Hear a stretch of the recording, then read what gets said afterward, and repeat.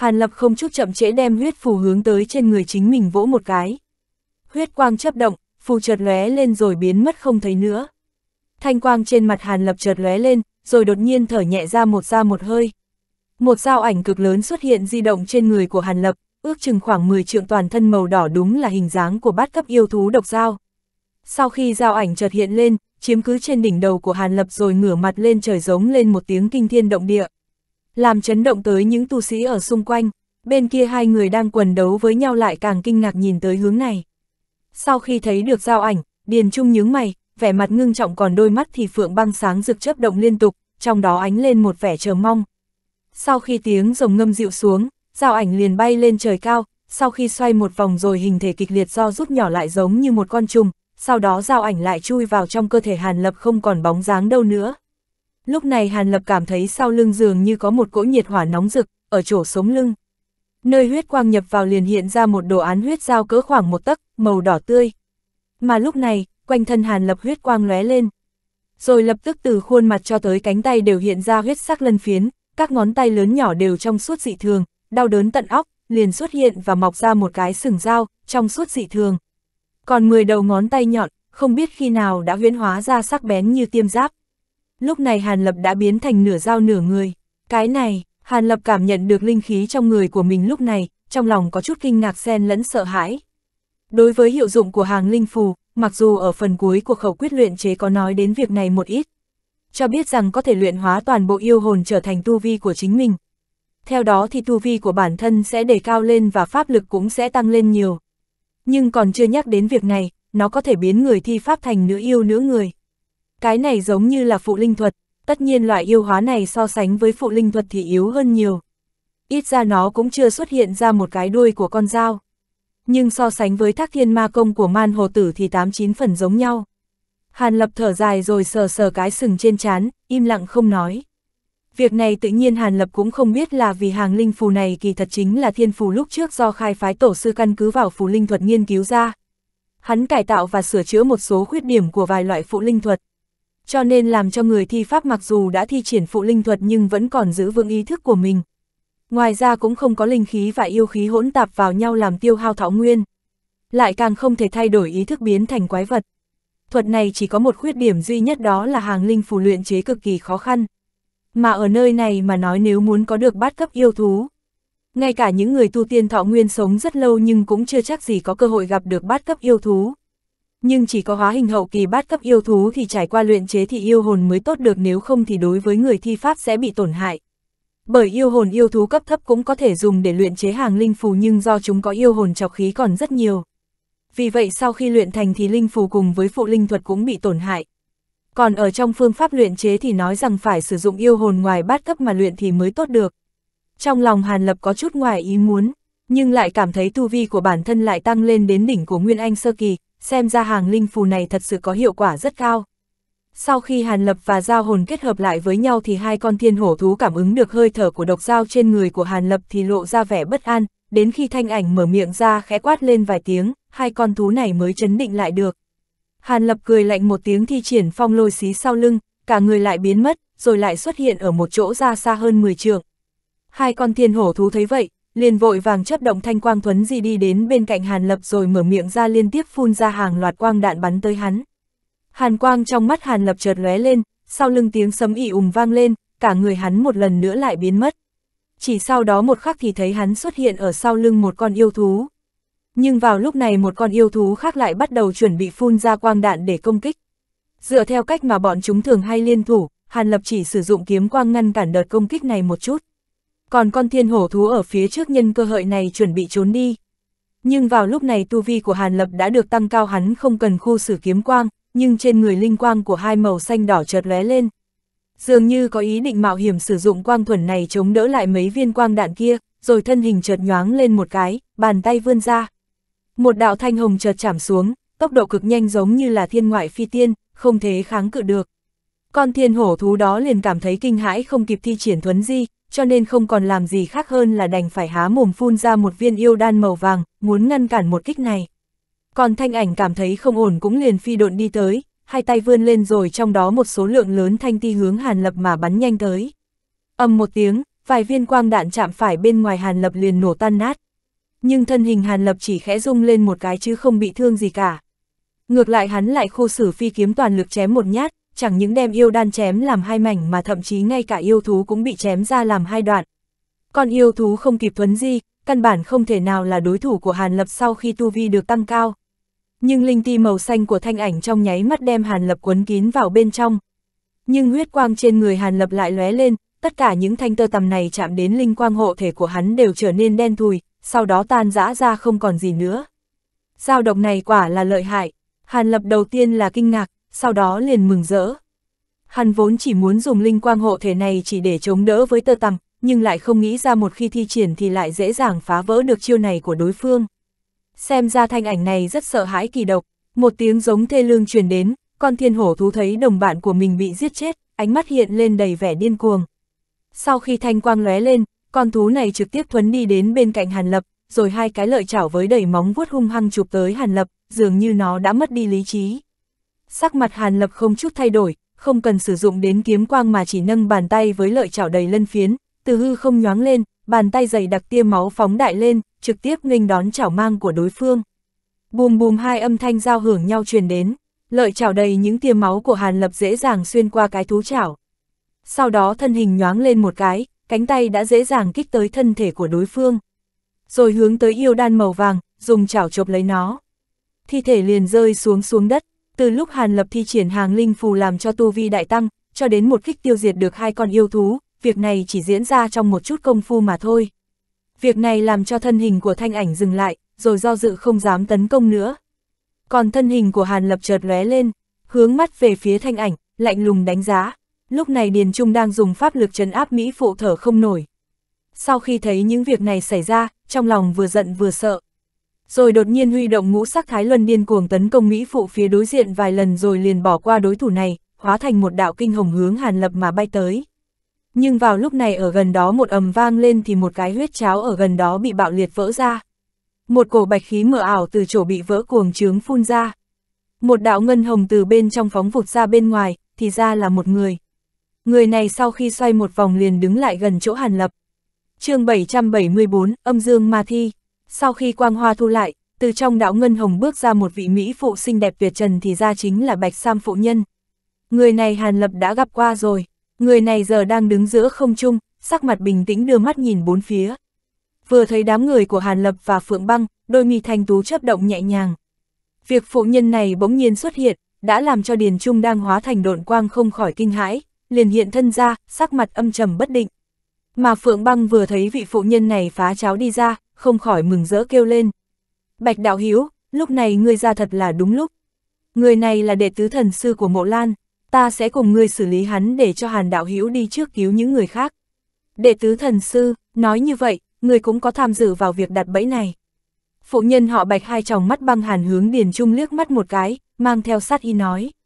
Nghĩ không ra là ngoại trừ tên tiểu tử kia, thì chỉ có ngươi mới có thể phá ra được huyết la cháo. Ta chỉ biết người đó là của âm la tông, chứ không rõ lắm. Điền Trung không có trả lời câu hỏi của bạch phụ nhân, mà sắc mặt âm trầm tự nói ra ra hai câu như vậy. Muốn chết, vừa thấy đối phương không thèm trả lời câu hỏi của mình, sắc mặt của phụ nhân họ bạch liền trở nên tái xanh, rồi sau khi hét lên một tiếng phẫn nộ. Hai tay vươn ra trà sát với nhau rồi một đám lớn hàn khí hỗn loạn cùng với vô số bông tuyết trắng mịt mờ nhắm tới đối phương mà tới. Khí thế cực kỳ kinh người. Phượng băng thấy vậy, cũng không chậm trễ từ trong hỏa linh bình trên không trung điểm chỉ một cái rồi xuất hiện ra một đoàn lửa hung mãnh từ phía bên kia sườn của Điền Trung mà đánh tới. Hàn Lập cũng không hề chần chừ hai cánh sau lưng chợt lóe lên, rồi vài tiếng sấm động vang lên, cả người trong nháy mắt lướt qua thanh ảnh rồi hướng tới phía khác của huyết cháo mà phóng tới.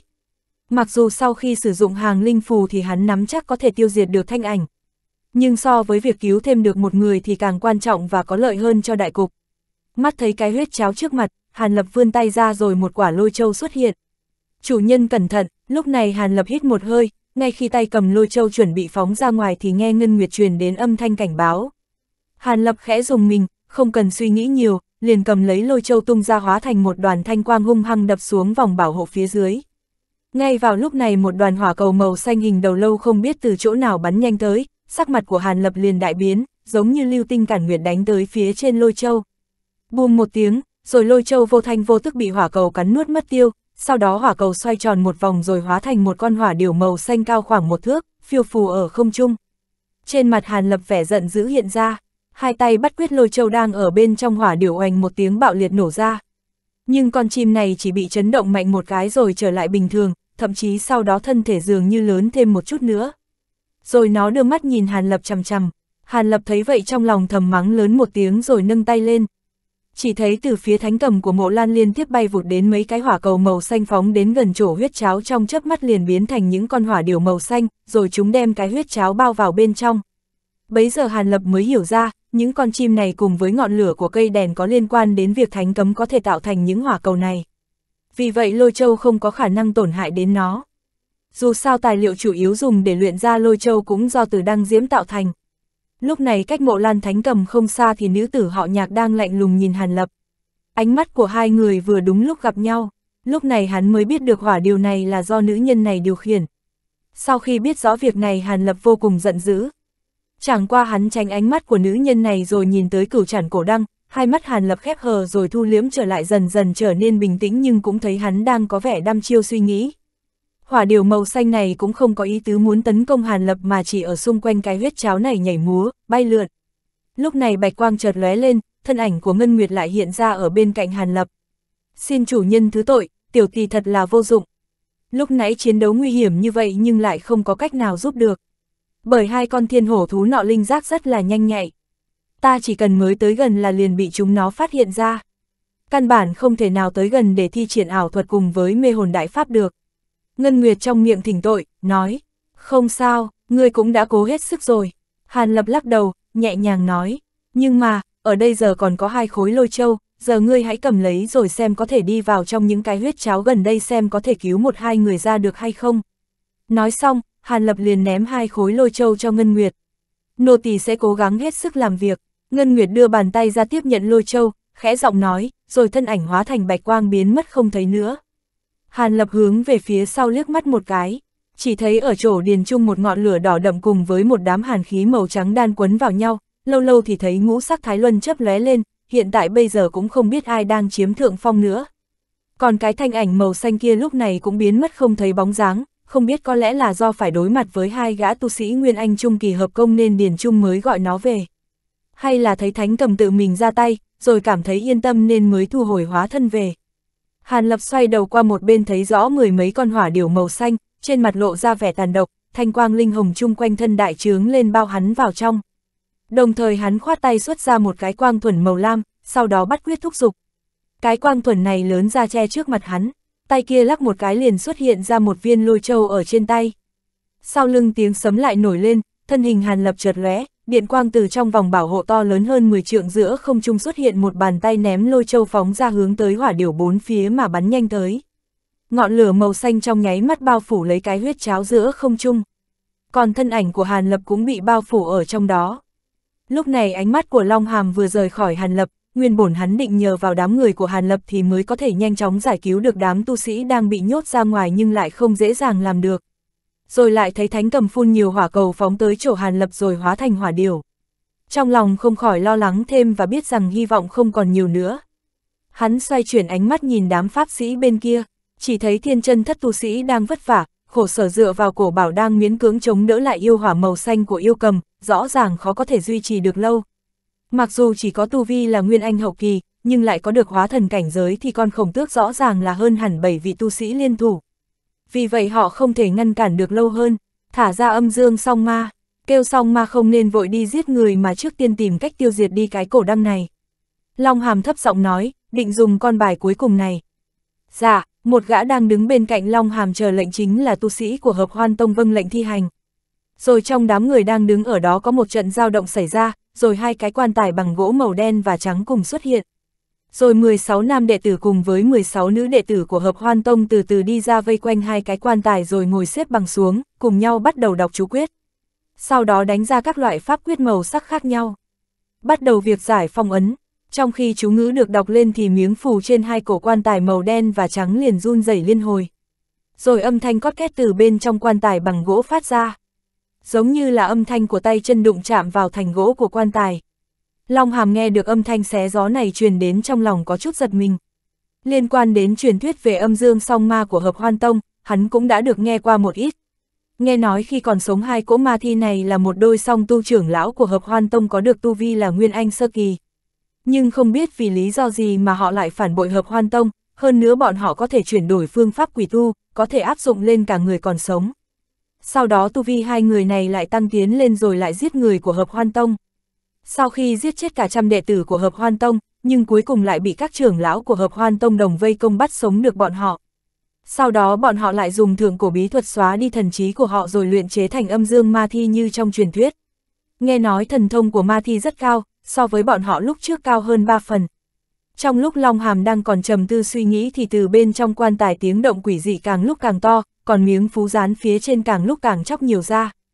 Vây quanh hai cái quan tài bằng gỗ này 32 hợp hoan tông đệ tử không ngừng đọc lên chú ngữ. Trên mặt bắt đầu lộ ra vẻ lo sợ, ánh mắt không chấp nhìn chừng chừng vào miếng phủ sắp chóc ra khỏi quan tài. Bụp bụp hai tiếng phát ra rồi hai miếng phủ cùng lúc bóc tung bay ra ngoài. Tất cả đệ tử của hợp hoan tông dường như cởi bỏ được gánh nặng ngàn cân, lập tức đứng dậy rồi bỏ chạy ra tứ tán. Lúc này hai cổ quan tài chợt hé ra rồi gió lớn nổi lên, xuất hiện ra hai cái bóng mờ ảo một đen, một trắng cùng phá nát hai cái quan tài phóng ra làm cho gỗ vụn bay khắp nơi. Còn hai cái bóng chợt lóe lên rồi hướng theo hai hướng bất đồng. Có hai gã nam nữ đệ tử chậm chân đột nhiên hét lên hai tiếng, hai đạo nhân ảnh chộp tới hai người này rồi cắn vào yết hầu của họ. Rồi đưa mồm khoan khoái hút lấy máu huyết của hai người bọn họ. Còn những đệ tử của hợp hoan tông khác thấy vậy, liền dừng độn quang lại không chạy nữa. Còn những tu sĩ của các môn phái khác thấy vậy sắc mặt không khỏi đại biến. Tốt, song ma sau khi hấp thu tinh huyết của đồng nam đồng nữ thì sẽ không còn làm việc này nữa. Một gã phi phát lão giả từ trong đám người đi ra sắc mặt không đổi nói liền như vậy. Sau đó đứng đối mặt hai tay vươn ra, xuất hiện ra hai khối đồng bài đầy ký hiệu màu xanh lục.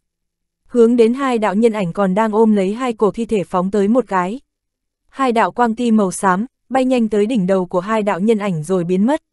Thân hình của song ma run lên một cái, lập tức ngừng lại việc hấp thu máu huyết, rồi hướng đám tu sĩ đang đứng mà bay tới. Lúc này tất cả các vị tu sĩ đã nhìn rõ khuôn mặt của song ma, rồi đều đồng loạt kêu lên với âm thanh rất là kinh ngạc. Đối với hai vị âm dương song ma này mới nhìn thì thấy bọn họ là một đôi nam nữ thanh niên mi thanh mục tú. Nam thì mày kiếm lãng mục còn nữ thì đoan trang tú lệ. Sắc mặt ra tay cũng giống như là người sống, chỉ có bốn mắt nhìn thì thấy có chút si ngốc. Nếu như hai người này không có lưu lại mấy giọt máu huyết ở trên khóe miệng thì khi mới nhìn mọi người chắc chắn nghĩ rằng hai người bọn họ chính là một cặp bạn lữ song tu bình thường. Nhưng mà khi đến gần thì một mùi hôi thối của thi thể bốc ra nhẹ nhẹ xung quanh. Nỗi nghi hoặc trong lòng mọi người liền biến mất, phi phát lão giả đem linh lực đổ vào đồng bài trong tay, rồi từ đồng bài một đạo quang mang màu xám bay tới song thi rồi bao chúng lại. Thân ảnh của âm dương ma thi vẫn không nhúc nhích, còn lão giả trên miệng thì đọc nhanh chú ngữ, phú văn của đồng bài trong tay nhẹ nhàng hiện lên. Đột nhiên lão giả đánh hai đạo pháp quyết vào đồng bài, từ ngón cái một đoàn ánh sáng màu xám từ trên đồng bài bắn ra, chợt lóe lên rồi nhắm tới chán của hai người nam nữ mà phóng tới và nhập vào bên trong rồi không gặp bóng dáng nữa. Tinh quang trong bốn mắt của song ma trở nên bạo khởi. Đi, phi phát lão giả đem lệnh bài thu lại, rồi hướng tới cự điểu màu xanh ở phía xa chỉ một cái, rồi lạnh lùng ra lệnh. chương 775, cự viên xuất hiện. Hai mắt của âm dương song ma khẽ chuyển động, quanh thân thi khí nổi lên, đột nhiên hai ma cùng sóng vai nhau rồi liền hóa thành một cỗ lục phong gào thét phóng đi. Xem phương hướng mà chúng phóng tới đúng là chỗ của mộ lan thánh cầm. Chúng tu sĩ liền thở phào nhẹ nhõm, đối mặt với loại quái vật chuyên hấp thu máu huyết của người sống, cho dù không đánh nhau nhưng đứng đối mặt cũng khiến lạnh cả người. Cặp song ma kia biến thành lục phong phóng đi nhìn ra thấy thì chậm nhưng thực ra tốc độ thì cực nhanh, sau khi phóng đi khoảng nửa đường thì hầu như biến mất không còn thấy tung tích đâu cả. Những người khác đều hiện ra vẻ kinh ngạc, không khỏi đưa mắt nhìn tới phi phát lão giả nhìn một cái. thân sắc người này vẫn như thường, không có chút thay đổi. Còn những tu sĩ khác thì đưa mắt nhìn nhau trong lòng cảm thấy an tâm, không còn lo lắng nữa. Còn lúc này, chiến trường pháp sĩ bên kia thì cự điểu màu xanh vẫn liên tục phóng ra yêu hỏa, đem bảy vị tu sĩ ép xuống gần tới đường cùng. Hiện tại do có thể lợi dụng được thiên địa linh khí, nên con chim này có thể dễ dàng đem địa hỏa linh lực trong phạm vi 10 dặm tụ tập đến quanh người của nó. Vì vậy nó cũng dễ dàng chuyển hóa địa linh lực này thành yêu hỏa màu xanh. Căn bản không cần phải tiêu hao linh lực trong cơ thể của chính mình.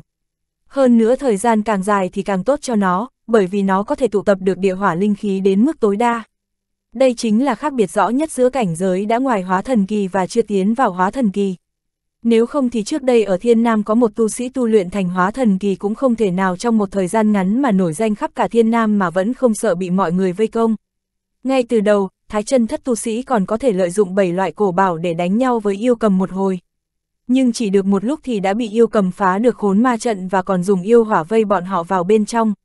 Bây giờ giỏi lắm là có thể tự bảo vệ được mạng mình, chứ hiện tại rất là nguy hiểm. Lúc này yêu cầm bỗng nhiên dừng lại một chút, dường như cảm ứng được cái gì đó không ổn. Rồi đưa mắt nhìn xung quanh một vòng, đột nhiên kêu lên một tiếng, hai cánh cùng mở rộng, một vòng ánh sáng màu xanh xuất hiện trên người rồi hướng tới bốn phương tám hướng bay vọt đi. Chỉ trong chốt lát đã bao lại hết một khu vực rộng khoảng trăm trượng chung quanh nó. Rồi một tiếng va chạm nhẹ xảy ra, từ bên trong vầng sáng đó xuất hiện ra một làn khói mờ màu lục. Sau đó, từ trong đám khói mờ ảo đó âm dương song ma từ từ hiện hình. Bọn họ dường như muốn từ phía sau bay tới đỉnh đầu của con chim này. Pháp thuật ẩn nặc đã bị phát hiện, lúc này song ma kêu to lên một tiếng rồi cả thân hình biến lớn lên, biến thành một thân cao hai trượng, khuôn mặt xám ngắt với diện mạo giống như một con quỷ dữ. Mười ngón tay vươn ra run run lên rồi bắn ra mười đạo quang ti màu xám hướng tới cự điểu mà bay tới. Thanh điểu hơi ngạc nhiên rồi liền giận dữ phát ra một tiếng kêu vang dội.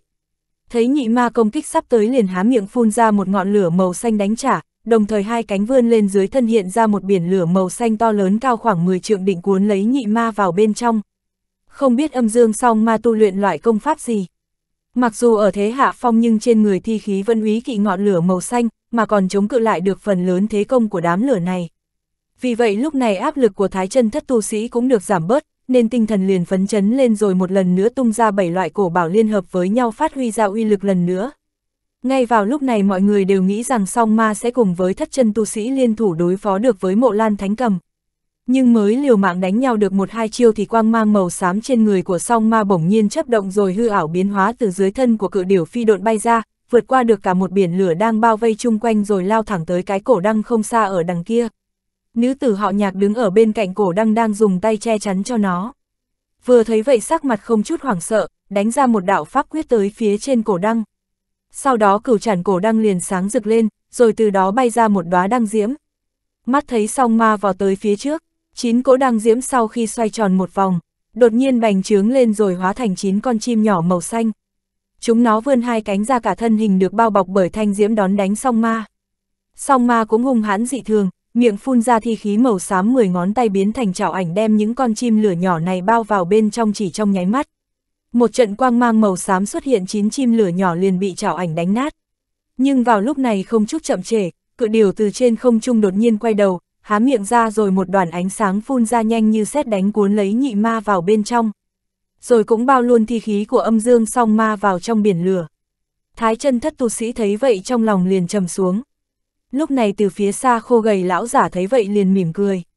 Quay đầu khẽ nói với hắc bào nữ tử vài câu, hắc bào nữ tử hai mắt liền chuyển động dò xét đánh giá cả chiến trường một lần. Thì thấy bất kể là tu sĩ hay là pháp sĩ đều lộ ra vẻ mệt mỏi, lúc này mới bình tĩnh gật đầu.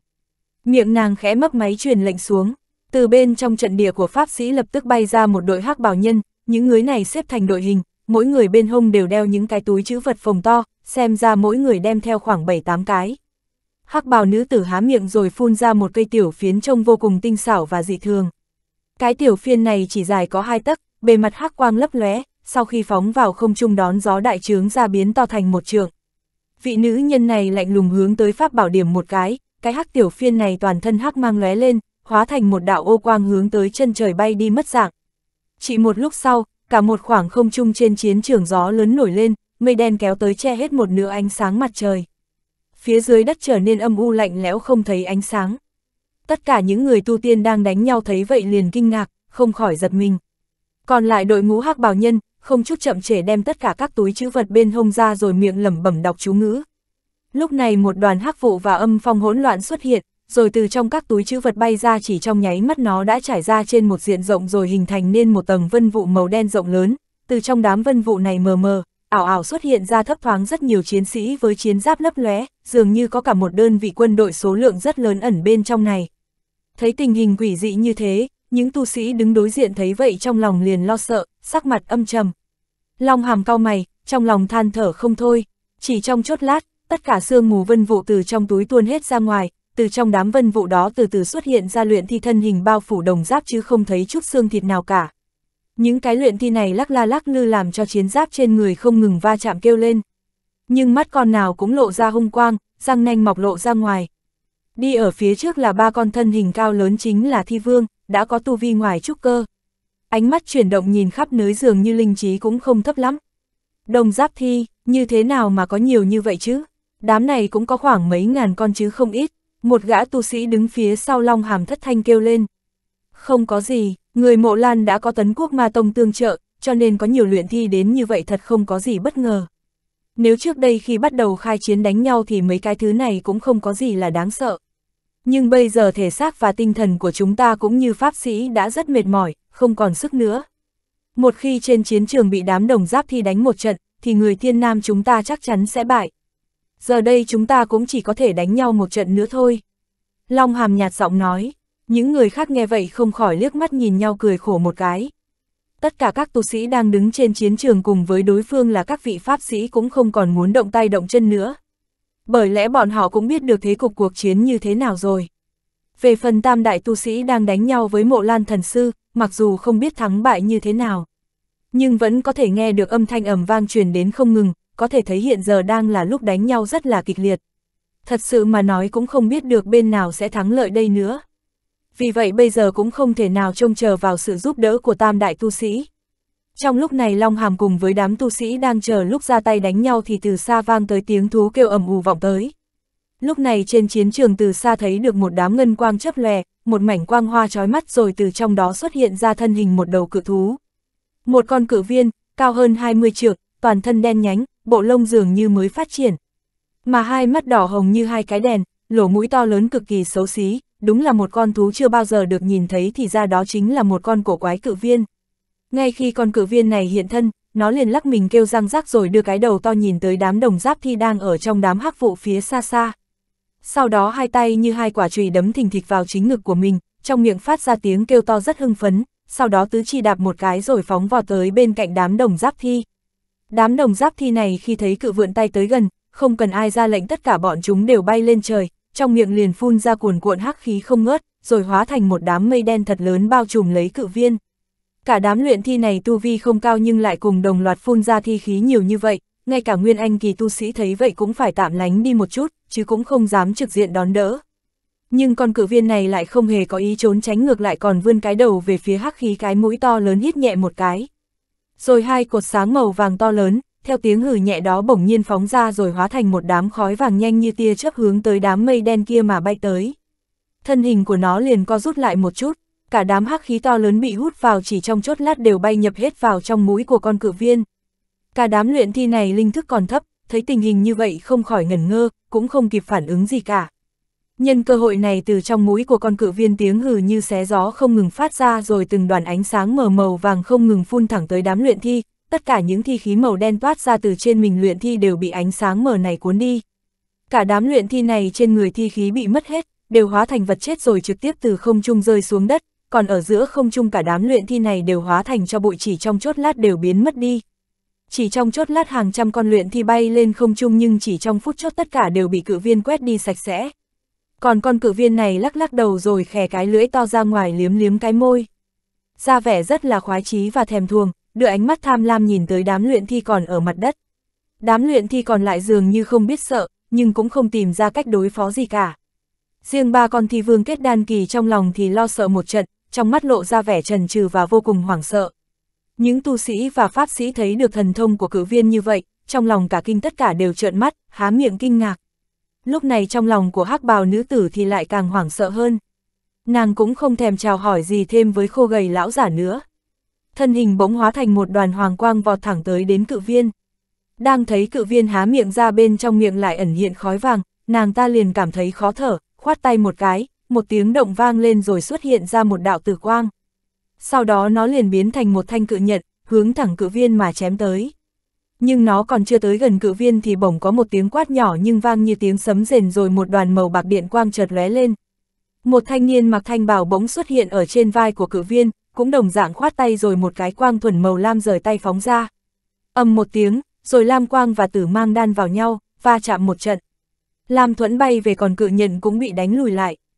Thanh niên thanh bảo trên vai cử viên có chút lắc lư một cái, trên mặt lộ ra vẻ kinh ngạc.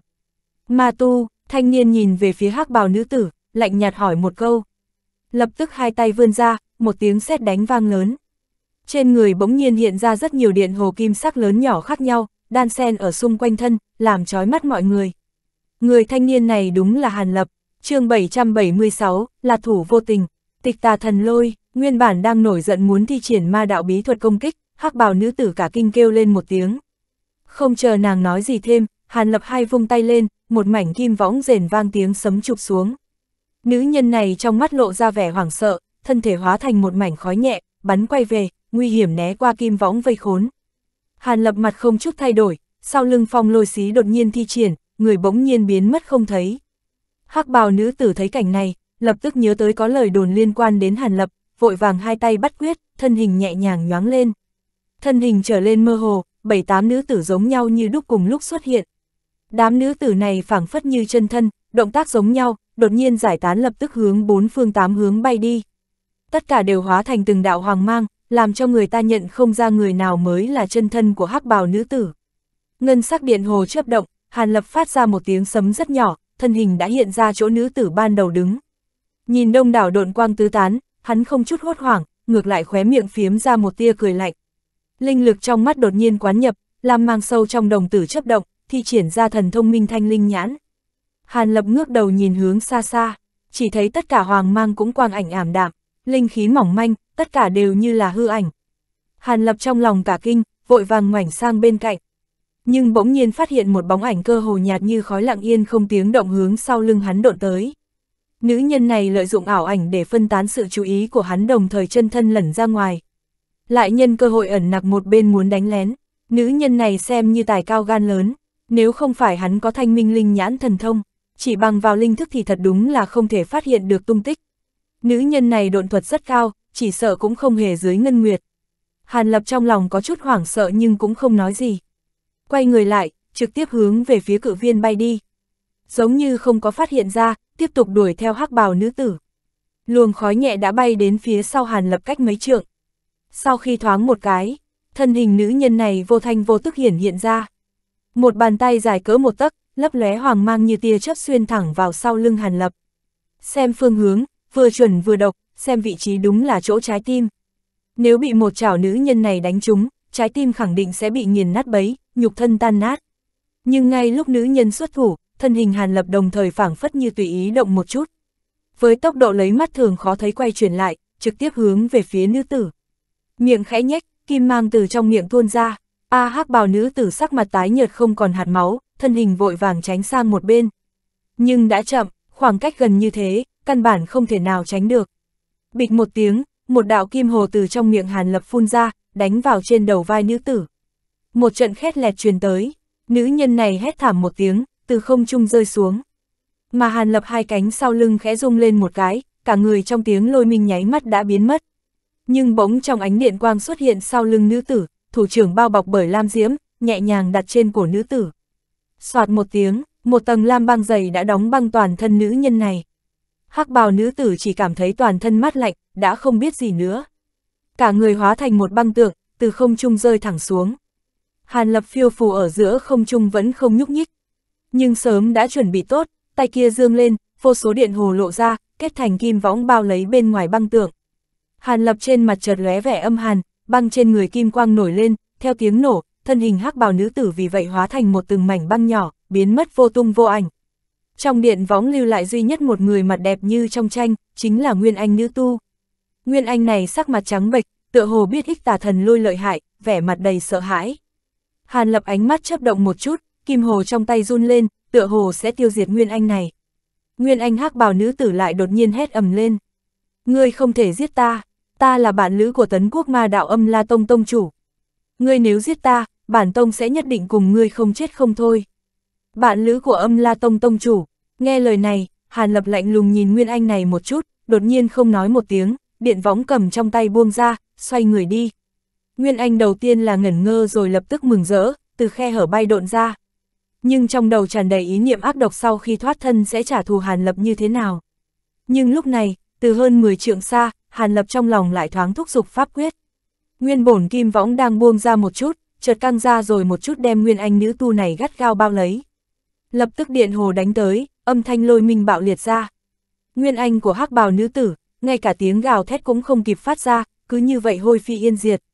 Đã đem nhục thân của ngươi hủy diệt, chẳng lẽ lại thả ngươi trở về để báo thù sao? Hàn lập dường như bất đắc dĩ lầm bầm một câu, thở dài một hơi, tiếp theo cũng không quay đầu lại, hướng về phía cự viên bay đi. Từ lúc hắc bào nữ tử bay tới, đến lúc Hàn Lập dùng ích tà thần lôi diệt sát. Xem ra có chút phức tạp, nhưng chỉ là chuyện trong nháy mắt.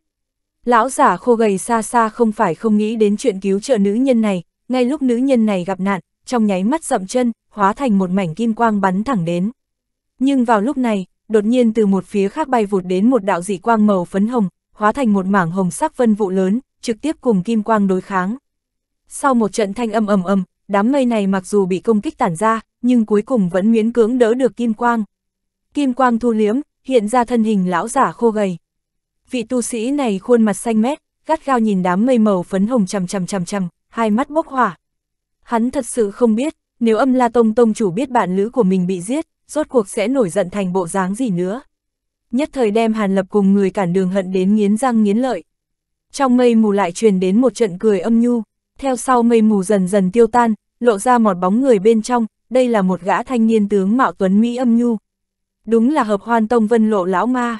Hàn đạo Hiếu, ngươi cứu ta đi ra, ta cũng giúp ngươi một lần, sau này lão phu cũng không nợ ngươi cái gì.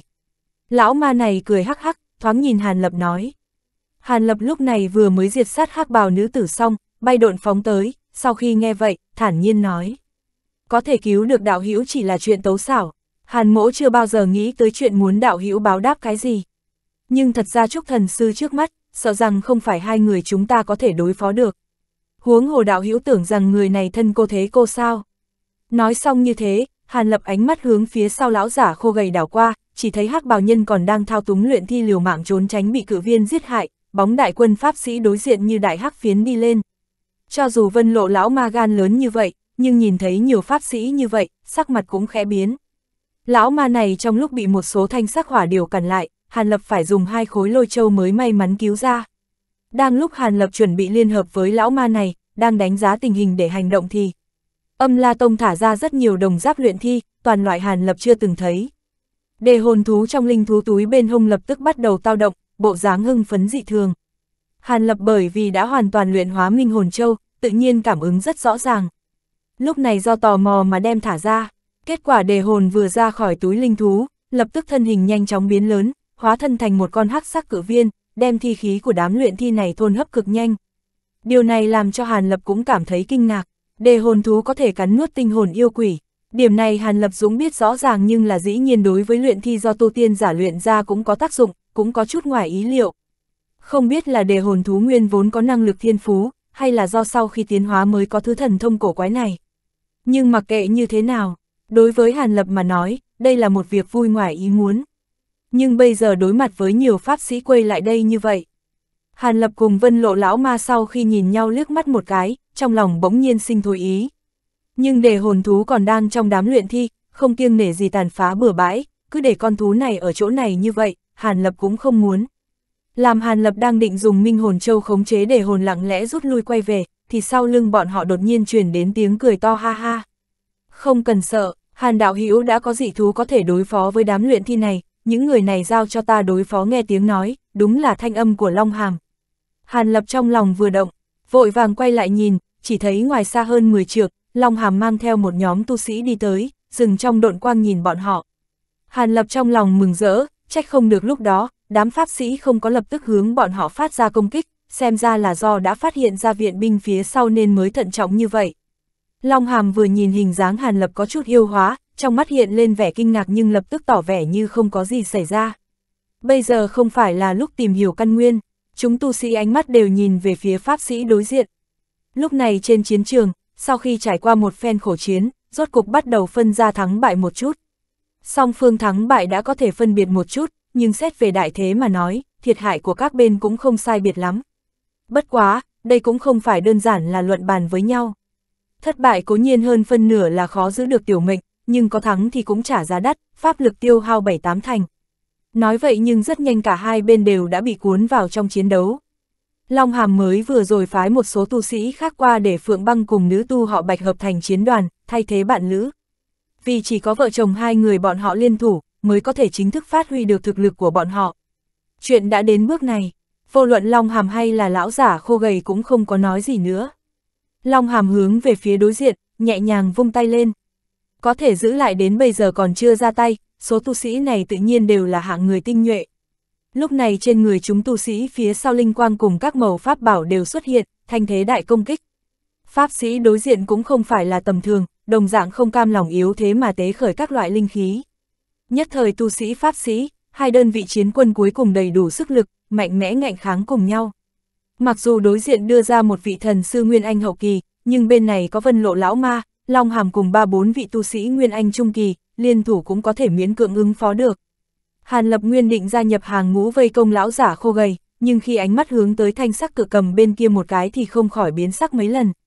chương 777, huyết quỷ và thạch nhân. Thái chân thất tu cùng âm dương song ma liên thủ đối kháng mộ lan thánh cầm, nhưng sau một lát công phu, dần rơi vào hạ phong. Song ma vẫn hoàn hảo, tu luyện quỷ đạo công pháp quỷ dị vô cùng, liên thủ thả ra thi khí nổi lên từng trận âm phong, trong thanh sắc liệt diễm vẫn có thể miễn cưỡng tự bảo vệ mình. Nhưng thái chân thất tu dưới tình huống pháp lực tổn hao nhiều, rốt cục không chi chỉ được. Đặc biệt hai lão giả trong đó, một vị sắc mặt đỏ bừng, linh quang lúc sáng lúc tối, một vị khác mặt như tờ giấy, hơi thở phì phò. Rõ ràng là linh lực tiêu hao qua nhiều, thậm chí có bộ dáng sử dụng bí thuật kích phát tiềm lực. Hàn lập nhướng mày, xem đám người trước mặt một chút, vừa lại nhìn xa xa nữ tử họ nhạc đang canh giữ trước cổ đăng một bước không rời. Ngươi để ý để hồn thú, không thể để cho nó gặp chuyện nguy hiểm. Thật sự có nguy hiểm thì hãy đem ra ngoài, trước tiên hãy thu hồi minh hồn châu, tạm cho ngươi mượn dùng một lát. Ta đi trước tiêu diệt cổ đăng kia hàn lập thấp giọng đến mức không thể nghe thấy, bình tĩnh nói. Tiếp theo liền giơ tay, đem một viên châu có màu xám hướng phía sau ném đi.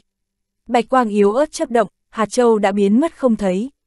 Dạ, chủ nhân cẩn thận một chút, khổng tước này thần thông thật sự không nhỏ phía sau Hàn Lập không một bóng người nhưng lại truyền đến thanh âm ngân nguyệt lo lắng nói. Hàn Lập thần sắc như thường gật đầu, chờ phụ cận khi không có người nào chú ý tới, thân hình mơ hồ một chút rồi bỗng nhiên biến mất. Hàn Lập từ pháp quyết luyện khí vô danh của yêu tộc mà tu luyện thần thông ẩn nặc tàng hình. Tuy không bằng thiên phú độn thuật của Ngân Nguyệt nhưng xét về mặt liễm khí thì không thua kém là mấy. Hắn đem vô danh pháp quyết vận hành đến mức tận cùng. Chẳng những linh khí toàn thân thu liếm, thậm chí ngay cả khí tức thân thể phát ra cũng mạnh mẽ áp trụ lại. Bây giờ không chỉ để qua mắt được riêng nữ tử họ nhạc mà còn có mộ lan thánh cầm tu vi sâu không lường được. Xa xa một phương, nữ tử họ nhạc nhìn thấy đám người khô gầy lão giả cũng bị đám tu sĩ long hàm cuốn lấy. Trên mặt mơ hồ hiện ra ánh mắt lo âu, mặc dù nàng phải canh giữ cổ đăng, không có rời đi.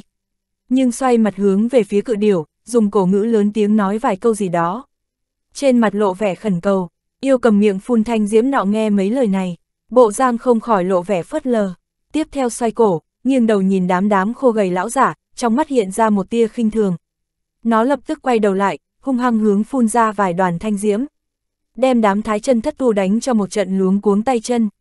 Sau một tiếng thanh minh, đột nhiên dương cánh bay cao. Xoay người, cự điều hướng về phía lão giả, lông chim như lưu ly bao phủ quang diễm trên người nhẹ nhàng run lên. Từng mảng lớn thanh vũ từ trên người nó rời ra, sau đó quang mang chợt lóe hóa thành đám thanh sắc hỏa điểu dài cỡ một xích đi ra. Mấy trăm hỏa điểu này không cần ai chỉ huy, sau một trận líu díu, vỗ hai cánh bay vụt đến hướng đám người khô gầy lão giả. Nữ tử họ nhạc nhìn thấy màn này, trong lòng mới bình tĩnh, có đám linh điểu huyễn hóa ra tương trợ, đám lão giả bên kia khẳng định là không đáng ngại. Thủ thắng chỉ là chuyện sớm hay muộn, ngay lúc này tâm thần nữ tử mới buông lỏng một chút. Một trận ầm u u từ trung tâm chiến trường truyền đến. Nữ tử họ nhạc kinh nghi vội vàng nhìn lại, Hàn Lập vừa mới bay độn tới, đang cẩn thận tiếp cận nữ tử họ nhạc nghe tiếng nổ này cũng có chút kinh ngạc nhìn lại. Chỉ thấy tại trung tâm chiến trường, một trận đấu trọng yếu khác đang diễn ra. Ở bên kia, mười mấy tên quỷ linh môn đệ tử hợp lực khu xử vạn hồn đại trận rốt cục dừng lại. Bên ngoài biến thành quỷ vụ, phiêu phù ở không trung vẫn không nhúc nhích. Phía trước quỷ vụ, mấy tên mộ lan đại thượng sư hợp lực ngưng tụ ra hư linh thú, kình thiên cự đại thạch nhân. Giống như khôi lối cự đại thạch nhân, theo sự chỉ huy của mộ lan thượng sư tiến tới vây công tu sĩ thiên nam khác. Dưới tình huống phụ cận không có địch nhân khác, tự nhiên là nó sẽ ngăn chặn quỷ linh môn tu sĩ trong vạn hồn đại trận. Mà tiếng nổ mới vừa rồi là do thạch nhân khổng lồ này theo sự thúc giục của mộ lan pháp sĩ, nhắm ngay quỷ vụ hạ trưởng chụp xuống. Thủ trưởng còn chưa tới, vô số ma bàn thạch đầu lớn nhỏ, từ năm ngón tay rơi xuống như mưa. Cho dù quỷ linh môn tu sĩ trong vạn hồn trận, đối với cấm chế tự tin nhưng cũng tuyệt không có dũng khí đón đỡ số cự thạch này. Lúc này gào thét cùng nhau thao túng quỷ vụ trốn tránh ra. Nhưng cự thạch bắn nhanh đến gần khoảng hơn 10 trượng thì dừng lại. Đối với trận tranh đấu hiện nay, vô luận pháp sĩ hay là tu sĩ cùng đều rõ ràng đây là thời điểm mấu chốt. Cho nên một gã quỷ linh môn trưởng lão chủ trì vạn hồn trận, sau khi tự lượng liền quyết định không tiếc hết thảy, vận dụng đòn sát thủ của pháp trận này. Không chờ thạch nhân khổng lồ đuổi qua, trong quỷ vụ đã vang lên tiếng quỷ linh môn chúng tu sĩ trầm thấp niệm chú ngữ. Một tiếng kêu thê lương thảm thiết từ trong sương mù truyền ra, một đạo huyết quang từ trong sương mù phóng lên cao. Theo sau phảng phất như bị lây bệnh, sương mù âm sâm ngăm đen theo tiếng chú ngữ đột nhiên trở nên đỏ tươi như máu. Hai gã mộ lan thượng sư đứng ở trên đầu vai thạch nhân thấy cảnh này, trong mắt cũng lộ ra vẻ kinh nghi. Một lát sau, tiếng chú ngữ đột nhiên đình chỉ, tiếp theo huyết vụ quay cuồng, hơn 10 đạo độn quang màu sắc khác nhau từ trong sương mù chạy trối chết ra. Đám này là quỷ linh môn tu sĩ, lần này, càng làm cho hai gã mộ lan pháp thượng sư có chút khó hiểu. Lúc này, bị quỷ linh môn tu sĩ buông tha, huyết vụ tựa như sống lại, chúng biến ảo ra các cái sừng lớn nhỏ không đồng nhất, bắt đầu tại chỗ nhảy múa không ngừng, cũng kịch liệt ngưng tụ thu nhỏ lại. Mà tên quỷ linh môn trưởng lão chủ trì vạn hồn trận nọ, sau khi bay ra xa năm sau 10 trượng thì xoay người dừng lại.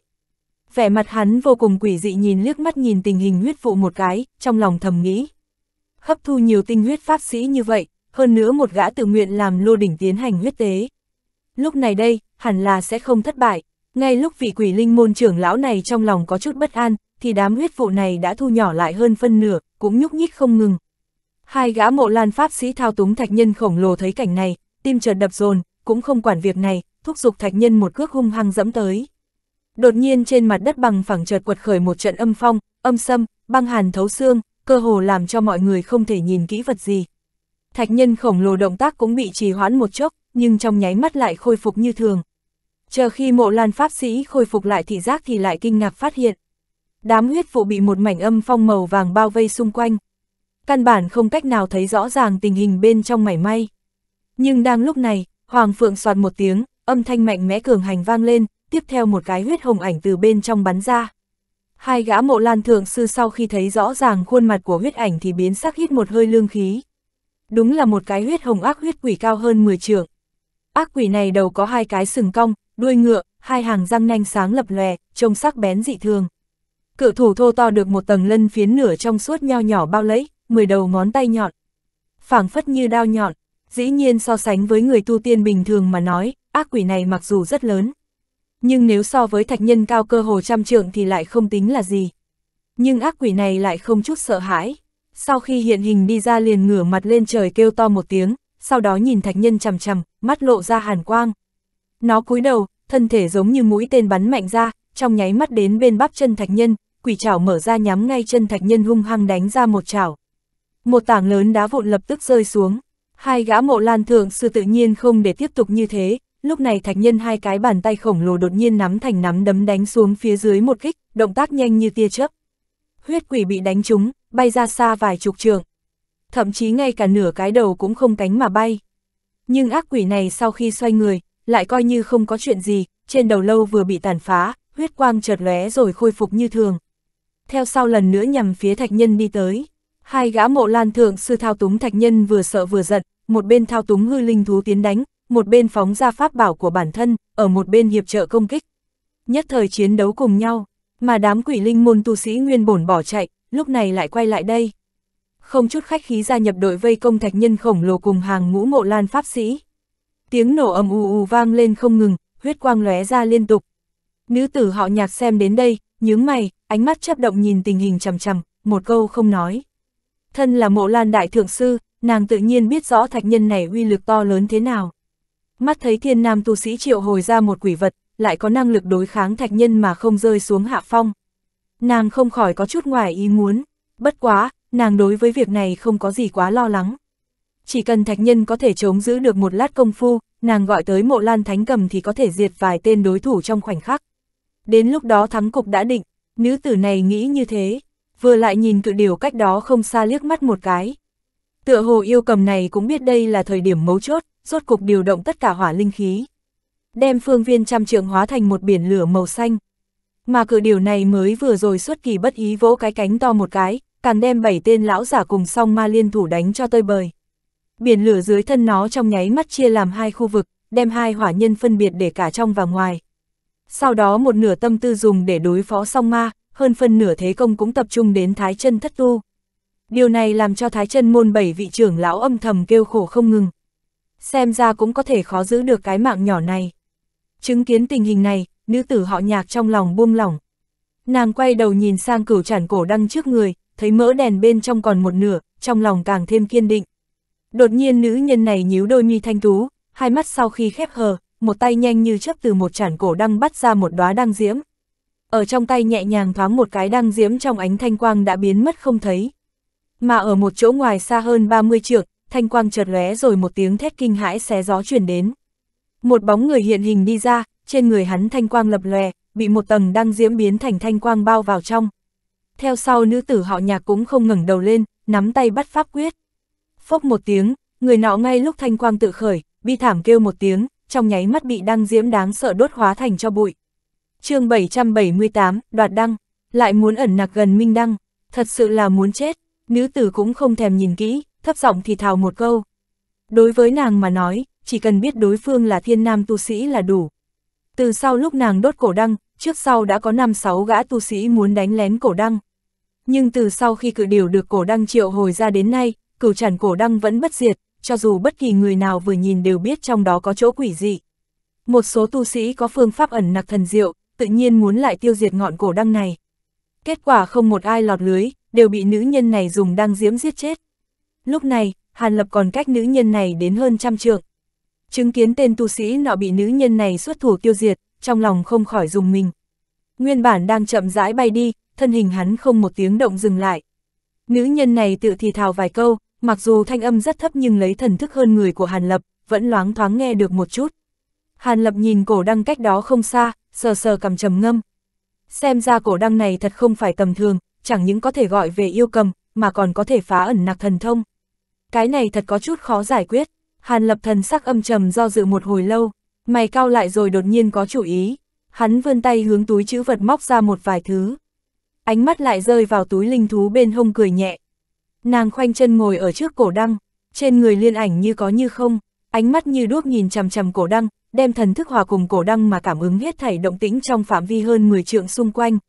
Đột nhiên ngoài trăm trượng xa xa, một mảnh bạch quang phát sáng rồi mười mấy đầu cự viên cao lớn bỗng nhiên hiện ra. Cứ như thế mà xuất hiện, nữ tử họ nhạc mắt nhìn thấy mà mặt lộ vẻ kinh ngạc. Đám cự viên này sau khi xuất hiện cũng không có tiến lên, mà là đứng thành hàng, hai tay nhấc lên, hơn 10 đạo quang trụ nhan sắc khác nhau phun đến.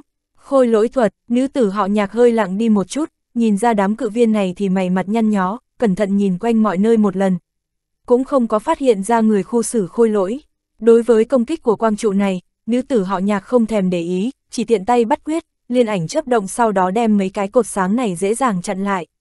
Nữ nhân này thân hình vừa động, lại lấy từ trên nhất chản cổ đăng một đóa đăng diễm, nhưng đăng diễm này cũng không có bị nữ nhân này lập tức tế ra, mà để ở lòng bàn tay, nhẹ nhàng phiêu khởi. Nữ tử này nhìn cổ đăng chằm chằm, ánh mắt chấp động không thôi. Chuẩn bị lấy bất biến ứng vạn biến. Một lát sau, nữ nhân này thần sắc vừa động, không trần chờ chút nào, cặp môi hé ra. Nhìn đăng diễm trên tay thổi vào một hơi linh khí, đăng diễm thanh quang lóe lên, từ trên tay biến mất quỷ dị một cách không còn thấy bóng dáng. Nữ tử họ nhạc lúc này mới quay đầu, nhìn chăm chú về hướng phần đất cách xa hơn 10 trượng bên ngoài. Phốc một tiếng vang nhỏ truyền đến, đầu tiên là một bóng người hiện ra rồi bị một đoàn thanh quang bỗng nhiên đem bao lại. Thanh sắc hỏa diễm theo tay bắt quyết của nữ tử, lập tức tại trên người nọ bùng cháy lên. Nữ tử khóe miệng vểnh lên, phiếm ra một tia cười lạnh. Ồ, như thế nào bây giờ còn chưa luyện hóa? Nữ nhân này vẻ tươi cười đột nhiên động lại, phát hiện ra người nọ không giống mấy người trước, trong nháy mắt hóa thành cho bụi và cũng không có dãy ruộng chút nào. Nàng trong lòng cả kinh vội vàng chăm chú nhìn thật kỹ. Người nọ, không đúng, chính là một khôi lỗi. Bóng người trong thanh diếm, diện mục phảng phất như bộ dáng hàn lập. Nhưng thần sắc đờ đẫn, cử chỉ cứng nắc, căn bản là một giả nhân. Hơn nữa tựa hồ không sợ thanh diếm chi hỏa, không có bộ dáng bị thiêu hủy. Không tốt, nữ tử trong phút chốc nghĩ đến cái gì? Nàng vội vàng quay đầu nhìn lại cổ đăng, muốn đem thần thức lần nữa bám vào cổ đăng. Tuy thế cũng đã chỉ hoãn mất một chút công phu, tại một chỗ cách đó hơn 20 trượng, một bóng người trong thanh quang thoáng hiện. Tiếng sét trầm thấp vang lên rồi bóng người trong điện quang biến mất không thấy bóng dáng. Nữ tử họ nhạc thấy cảnh này, trong lòng cực kỳ kinh sợ, hai tay đồng thời bắt quyết, lại đột nhiên dương lên, mấy đạo pháp quyết trước sau hướng cổ đăng vào tới.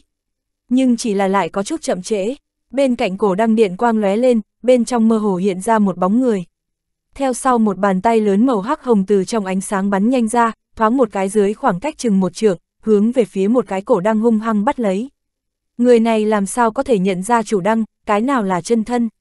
Chỉ có người làm phép mới có thể biết được, cho dù là nguyên anh hậu kỳ tu sĩ cũng không có cách nhìn thấu thật giả trong đó.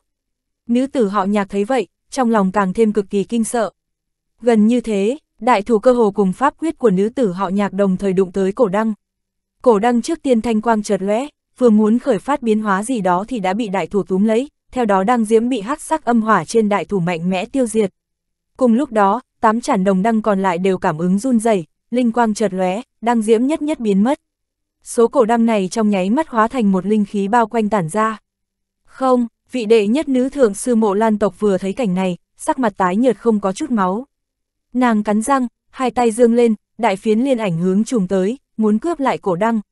Nhưng hắc hồng đại thủ sớm đoán trước, một khi cướp được cổ đăng đã lập tức bay vụt về phía sau mà quay về, một tia trì hoãn cũng không có. Nhưng trong điện quang có một tiếng hừ lạnh truyền đến, tiếng lôi minh lần nữa vang lên, chờ hắc hồng đại thủ chui vào trong quang đoàn, bóng người cùng hắc hồng đại thủ đồng thời biến mất. Sau một khắc, bóng người hiện ra bên cạnh khôi lỗi đang bị vây khốn trong thanh quang, trong tay đang cầm chản cổ đăng nọ. Đúng là Hàn Lập thừa dịp lặng lẽ lẻn vào, người tuyệt không chạy thoát, nữ tử họ nhạc kinh hoàng liếc mắt một cái nhìn hướng thanh điểu, phát hiện thánh cầm không có lập tức biến mất, trong lòng sau khi hơi bình tĩnh thì lớn tiếng hét dầm lên. Lập tức, nữ nhân này quanh thân hiện lên thanh quang, hóa thành một cổ thanh phong, truy theo. Hàn lập sắc mặt trầm xuống, trong tay bạch quang chợt lóe, cổ đăng được đút vào túi chữ vật, đồng thời sau lưng phong lôi xí vừa động. Người biến mất không thấy, đã ra xa hơn 10 trượng. Mà lúc này, nữ tử hóa thành thanh phong vừa vặn đuổi tới chỗ hắn đứng ban đầu. Hàn lập ánh mắt chấp động một chút, rồi đột nhiên giơ tay bắt quyết, miệng phun ra một câu bảo. Khôi lỗi trong thanh quang đột nhiên há miệng phun ra một quả thanh sắc viên châu, kích lên trên vách thanh diễm cháo. Âm một tiếng, kim hồ thanh diễm đan vào cùng nhau, bạo liệt ra. Chẳng những đem khôi lỗi nổ bay mất nửa thân thể mà còn lan đến phụ cận nữ tử họ nhạc. Nữ nhân này trên người có thần thông liên ảnh tự động hộ chủ. Mặc dù trong lòng không có phòng bị chiêu thức ấy, nhưng phiến phiến liên cánh hoa chấp động không thôi, đem công kích này ngạnh đỡ lại. Nhưng do lôi châu hàn lập giấu ở trong khôi lỗi, uy lực cũng không phải chuyện đùa. Nữ nhân này mặc dù tránh được một kiếp, nhưng thân hình lại bị đánh bay ra xa mấy trượng. Phong độn công pháp trong lúc nhất thời bị phá giải, hàn lập ca thán một tiếng, mặc dù cảm giác được có chút đáng tiếc nhưng không trần chờ chút nào mà thi triển hai cánh, chợt lóe lên rồi lần nữa biến mất, nhằm hướng xa xa bỏ chạy. Chờ nữ tử họ nhạc một lần nữa đứng vững thân hình thì Hàn Lập đã sớm độn ra xa hơn trăm trượng. Vị mộ lan nữ thượng sư này nghiến răng nghiến lợi đang muốn đuổi theo, thì tại chỗ bị nổ vừa rồi vốn chỉ còn lại một nửa khôi lỗi đột nhiên lại phát ra thanh âm vù vù quái dị. Mới vừa bị Hàn Lập ám toán một lần, nữ tử này bị hù dọa giật mình vội vàng nhìn lại. Chỉ thấy thân thể khôi lỗi bị tàn phá này thanh quang đại phóng ra, theo sau trong nháy mắt phân giải tản ra hóa thành một đám tam sắc phi trùng bay lên trời. Nữ tử họ nhạc tâm lý cả kinh, nhưng bất chấp đám phi trùng này mà vội vàng thúc giục bạch liên hộ thân trên người, muốn ngạnh tiến lên.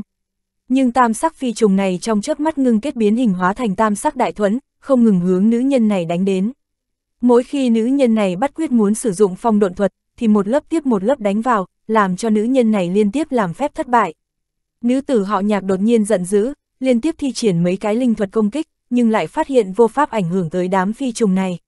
Lúc này nàng mới giật mình nhận ra đám tam sắc phi trùng này cùng phệ kim trùng ngoại trừ màu sắc không giống, còn lại tất cả đều giống nhau như đúc, hình như là biến dị phệ kim trùng. Trong lòng hơi cả kinh, lập tức hướng túi chữ vật muốn lấy ra mộc linh chi bảo vây khốn đám phi trùng này. Nhưng đám phi trùng này lại kêu vù vù một tiếng, hướng bốn phương tám hướng tứ tán mà chạy. Nữ nhân này ngẩn ra, theo sau biến sắc rồi vội vàng nhìn về hướng xa xa. Chỉ thấy không biết khi nào Hàn Lập đã thi triển ẩn nặc thần thông, tung tích biến mất, không thể nào tìm kiếm được. Nữ tử họ nhạc sắc mặt lúc xanh lúc trắng, một mình lơ lửng trên không trung, không biết làm sao. Mà lúc này, thanh điểu bên kia vừa mới phun ra một thanh sắc hỏa đoàn kích phá cổ bảo phòng thủ của một gã lão giả. Nó trong lòng vui vẻ, đang muốn phi thân xuống một chảo lấy mạng đối thủ thì đột nhiên cảm thấy linh lực trong cơ thể điên cuồng rút đi.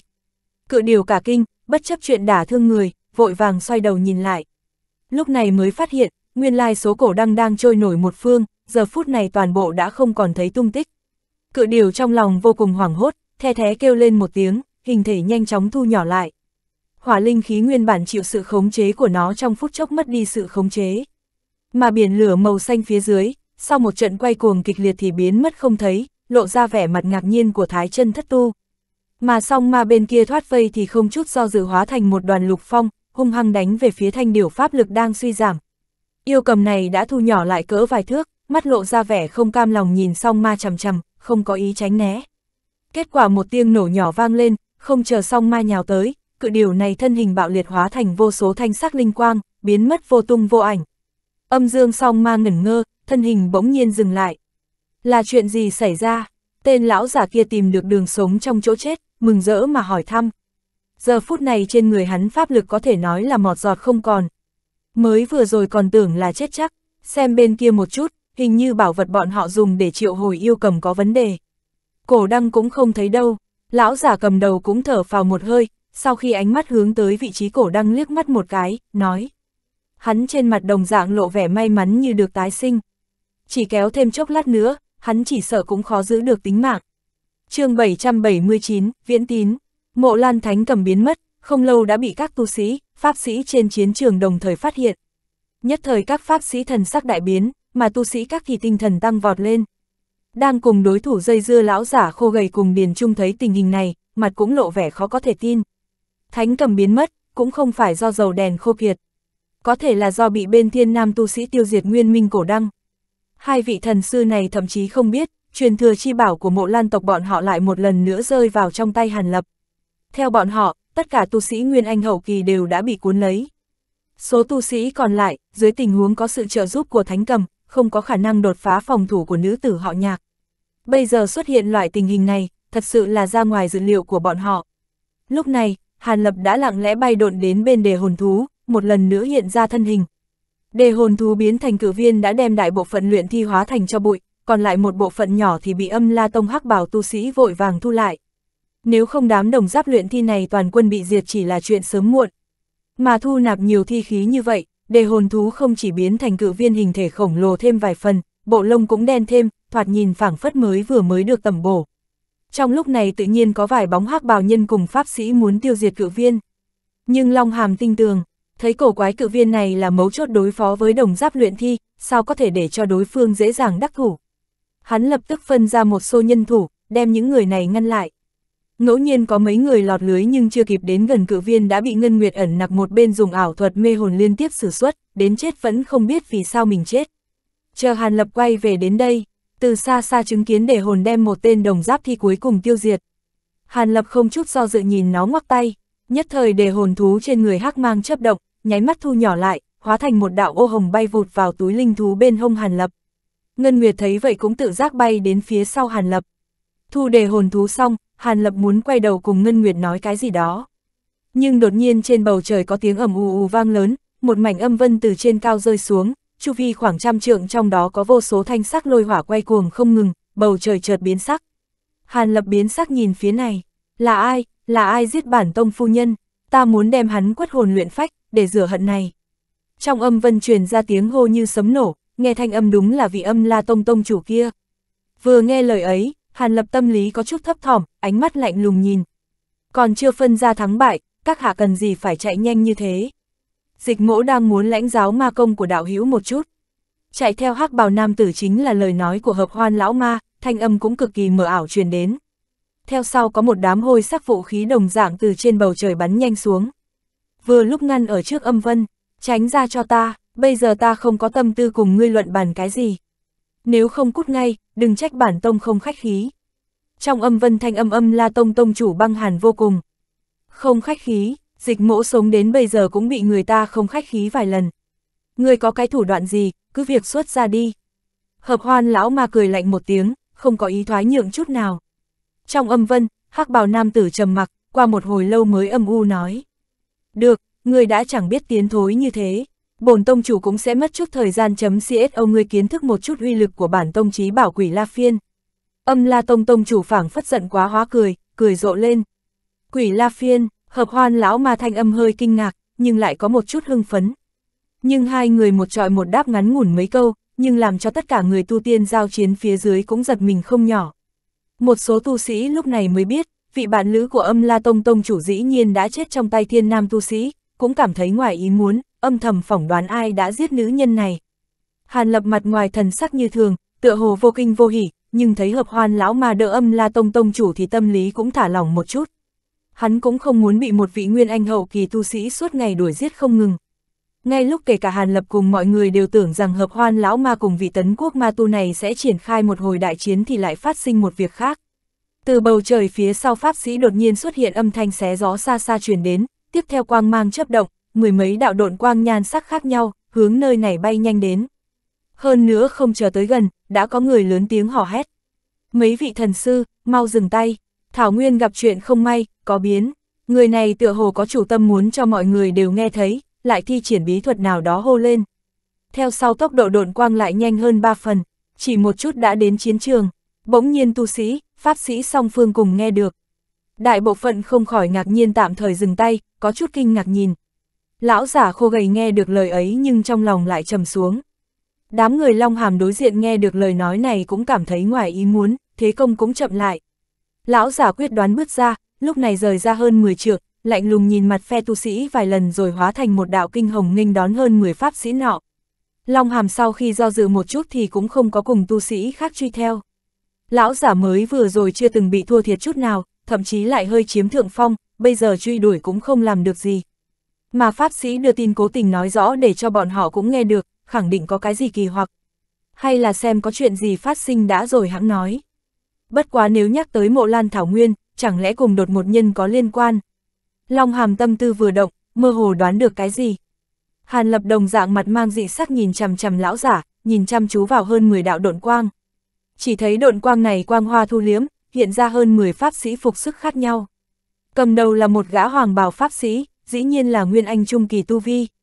Điều này làm cho Hàn Lập cả kinh, pháp sĩ Tu Vi cao thâm như thế mà trước đây dĩ nhiên không có tham chiến, thật có chút cổ quái.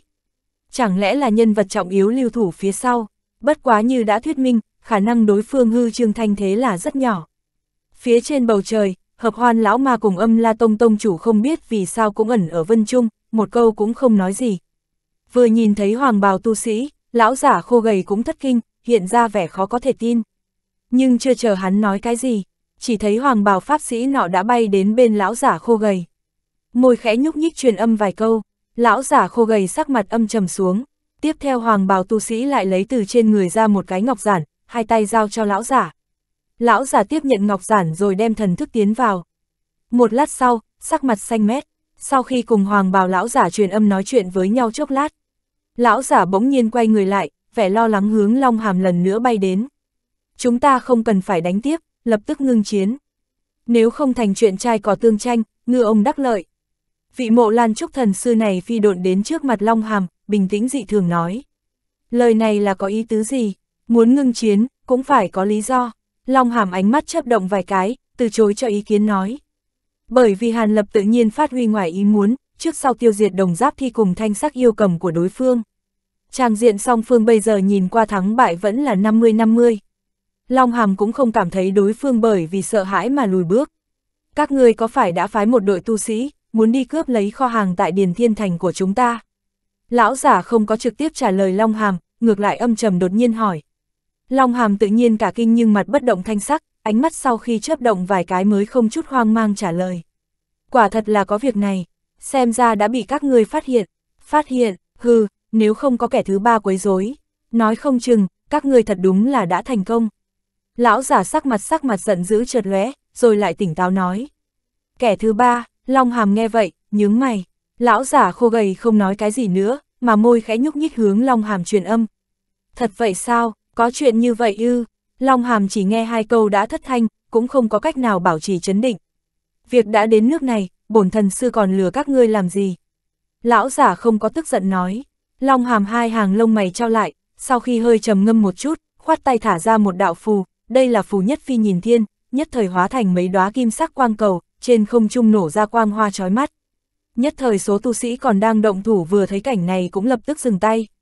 Hướng về phe cánh tu sĩ nhanh chóng lui về, nguyên bổn số tu sĩ cũng đã thu tay thì cũng như ong vỡ tổ triệt hồi. Pháp sĩ đối diện cũng không biết dùng phương pháp gì thông chi, đồng dạng lặng yên lui xuống. Trong đó đặc biệt thấy được huyết quỷ cùng vậy thạch cự nhân nọ, đồng dạng bị làm phép mạnh mẽ phân ra. Tạm dừng can qua, trong nháy mắt, hai chiến trận lập tức vắng lặng, song phương phảng phất trở lại tình hình trước cuộc chiến, chia làm hai phía.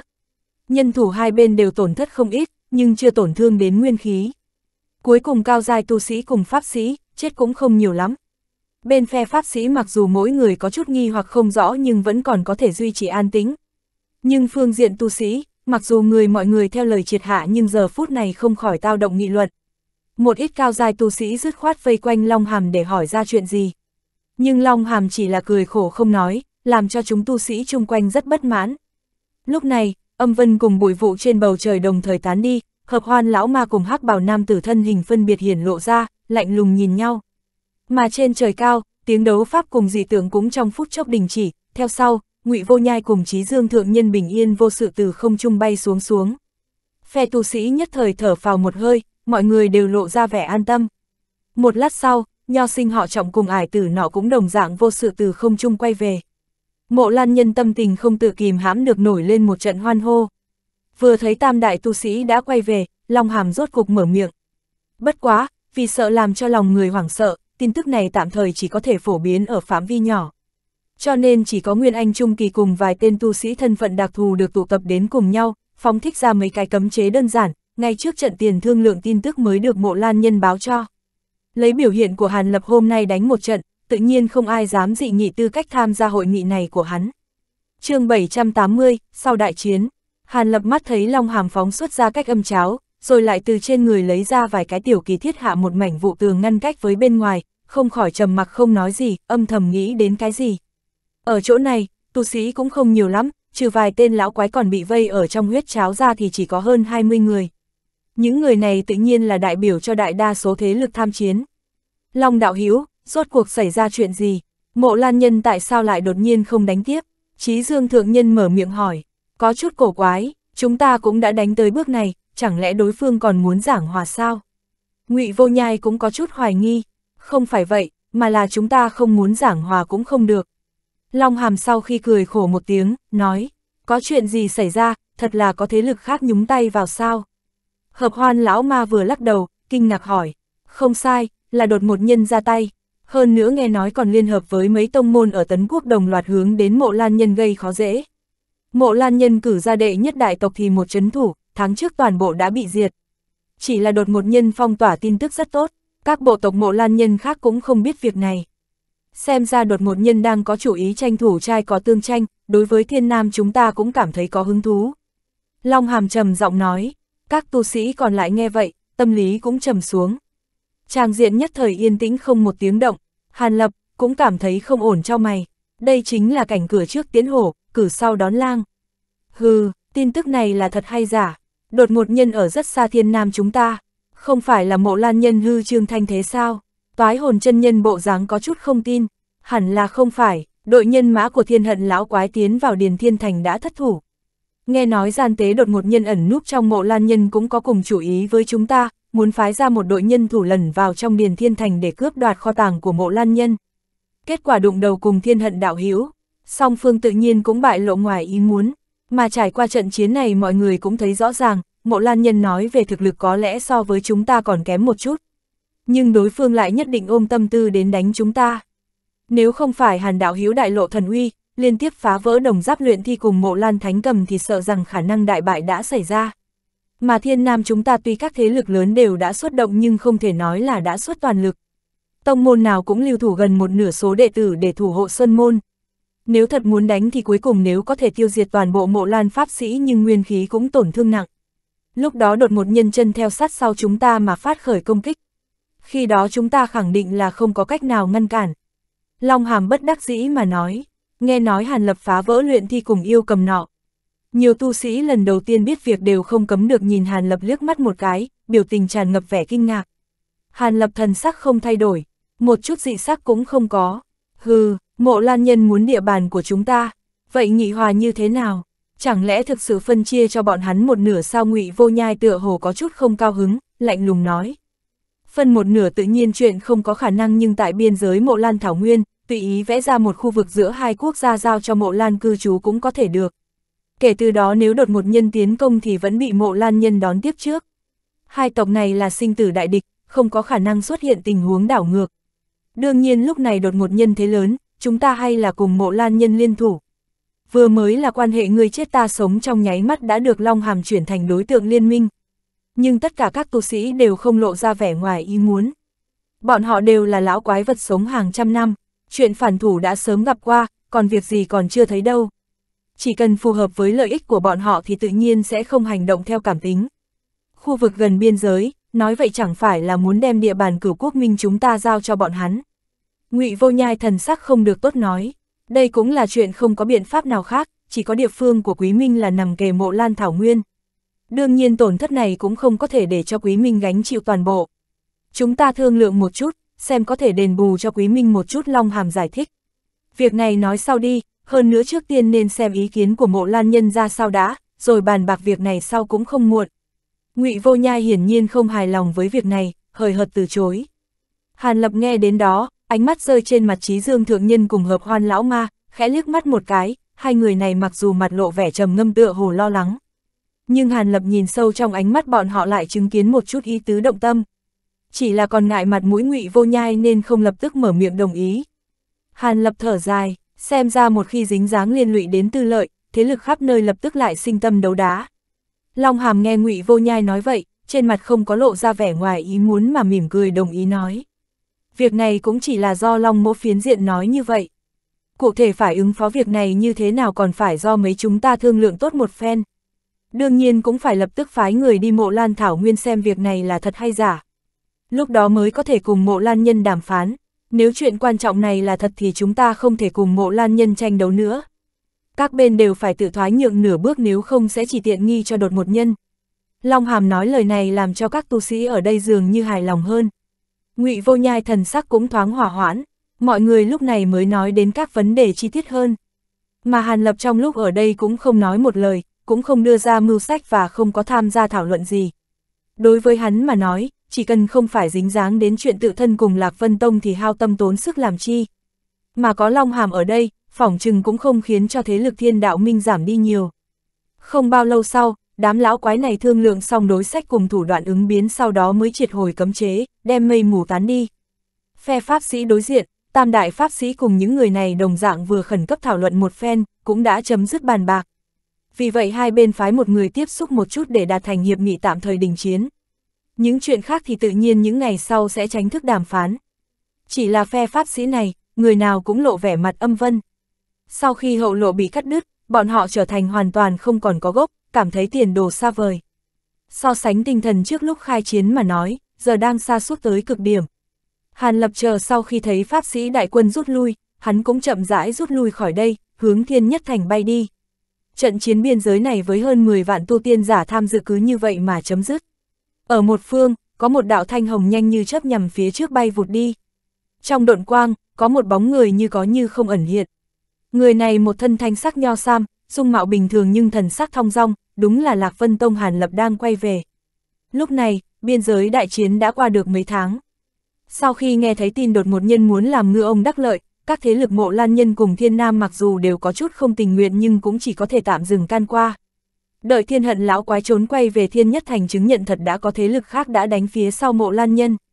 Vài thế lực lớn lúc này phái ra rất nhiều tu sĩ, đi qua mộ lan thảo nguyên một vòng, quả thật phát hiện mộ lan tộc đã bị dồn chạy tới tới gần biên giới thảo nguyên.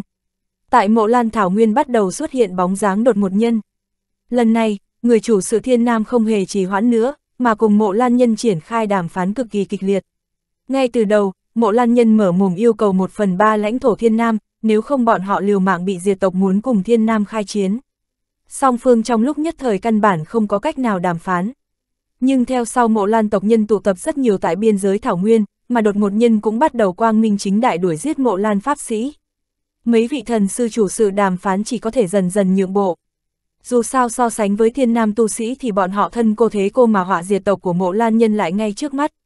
Mộ lan tộc bọn họ cùng đột một nhân là huyết cừu đại địch đã mấy vạn năm, căn bản không có chuyện thỏa hiệp đầu hàng. Trải qua vô số lần nhượng bộ, cuối cùng bên thiên nam cũng để cho bọn họ chiếm cứ hai quốc gia để an trí. Mà thiên nam một phương thì đem toàn bộ phàm nhân ở hai quốc gia đó thiên cư sang quốc gia khác. Tam đại thế lực đều dành ra một số khu vực bồi thường cho tổn thất của cửu quốc minh, cùng an trí tu sĩ và tông môn của quốc gia này. Đương nhiên đối lại, mộ lan tộc đối với Mỹ ý của thiên nam là khi đối mặt với việc xâm lấn của đột một nhân, mộ lan pháp sĩ phải toàn lực ngăn cản. Thiên nam các thế lực sẽ từ bên cạnh hiệp trợ, song phương liên thủ kháng địch. Kể từ đó, mộ lan tộc mặc dù tới chỗ mới dưỡng tức nhưng lại đóng vai trò như cửu quốc minh trước kia. Phải cẩn thận coi chừng đột một nhân tiến công, mà vừa lại bởi vì chỉ có hai quốc gia nên các phương thế lực của thiên nam cũng không cần lo lắng việc mộ lan nhân lớn mạnh, sau này lại trở mặt. Dù sao cần phải có biết bao nhiêu tư nguyên tu luyện mới có thể phát triển được một thế lực lớn. Mà mộ lan tộc mặc dù bị giới hạn tại hai quốc gia, nhưng cuối cùng tránh được nguy cơ diệt tộc. Hơn nữa đối mặt với đột một nhân cũng không phải đơn độc chiến đấu nữa, được nhiều thế lực tại thiên nam giúp đỡ. Song phương trong lúc nhất thời đối với việc này dường như khá hài lòng. Bất quá, trong đó lại có một chút sự tình cùng với Hàn Lập có liên quan phát sinh. Tất nhiên là chuyện Hàn Lập đánh chết bạn Lữ âm La Tông Tông chủ, làm cho vị tấn quốc ma tu đối với việc này không chịu bỏ qua. Mấy lần đưa tin lại đây, yêu cầu một mình ước chiến với Hàn Lập. Nhưng Hàn Lập sau khi nhận được khiêu chiến thư, hai mắt vừa đảo lập tức đem ngọc giản hóa thành cho bụi, căn bản không có ý tứ hồi âm cùng đáp ứng. Một vị nguyên anh hậu kỳ tu sĩ khiêu chiến hắn là một vị nguyên anh sơ kỳ tu sĩ, cái này cũng chỉ có đối phương mới có thể nghĩ ra được. Hàn Lập cũng không phải tiểu tử mới giáo máu đầu nung nổi, tự nhiên cười nhạt căn bản không thèm để ý tới. Sau khi mộ lan tộc cùng thiên nam đàm phán thành công, vị âm la tông tông chủ này không biết cùng mộ lan thần sư nói chuyện như thế nào. Dĩ nhiên lập tức mang theo thủ hạ rời đi, nghe nói là phản hồi tấn quốc. Điều này làm cho Hàn Lập vẫn có chút thư tâm, cuối cùng thở phào một hơi.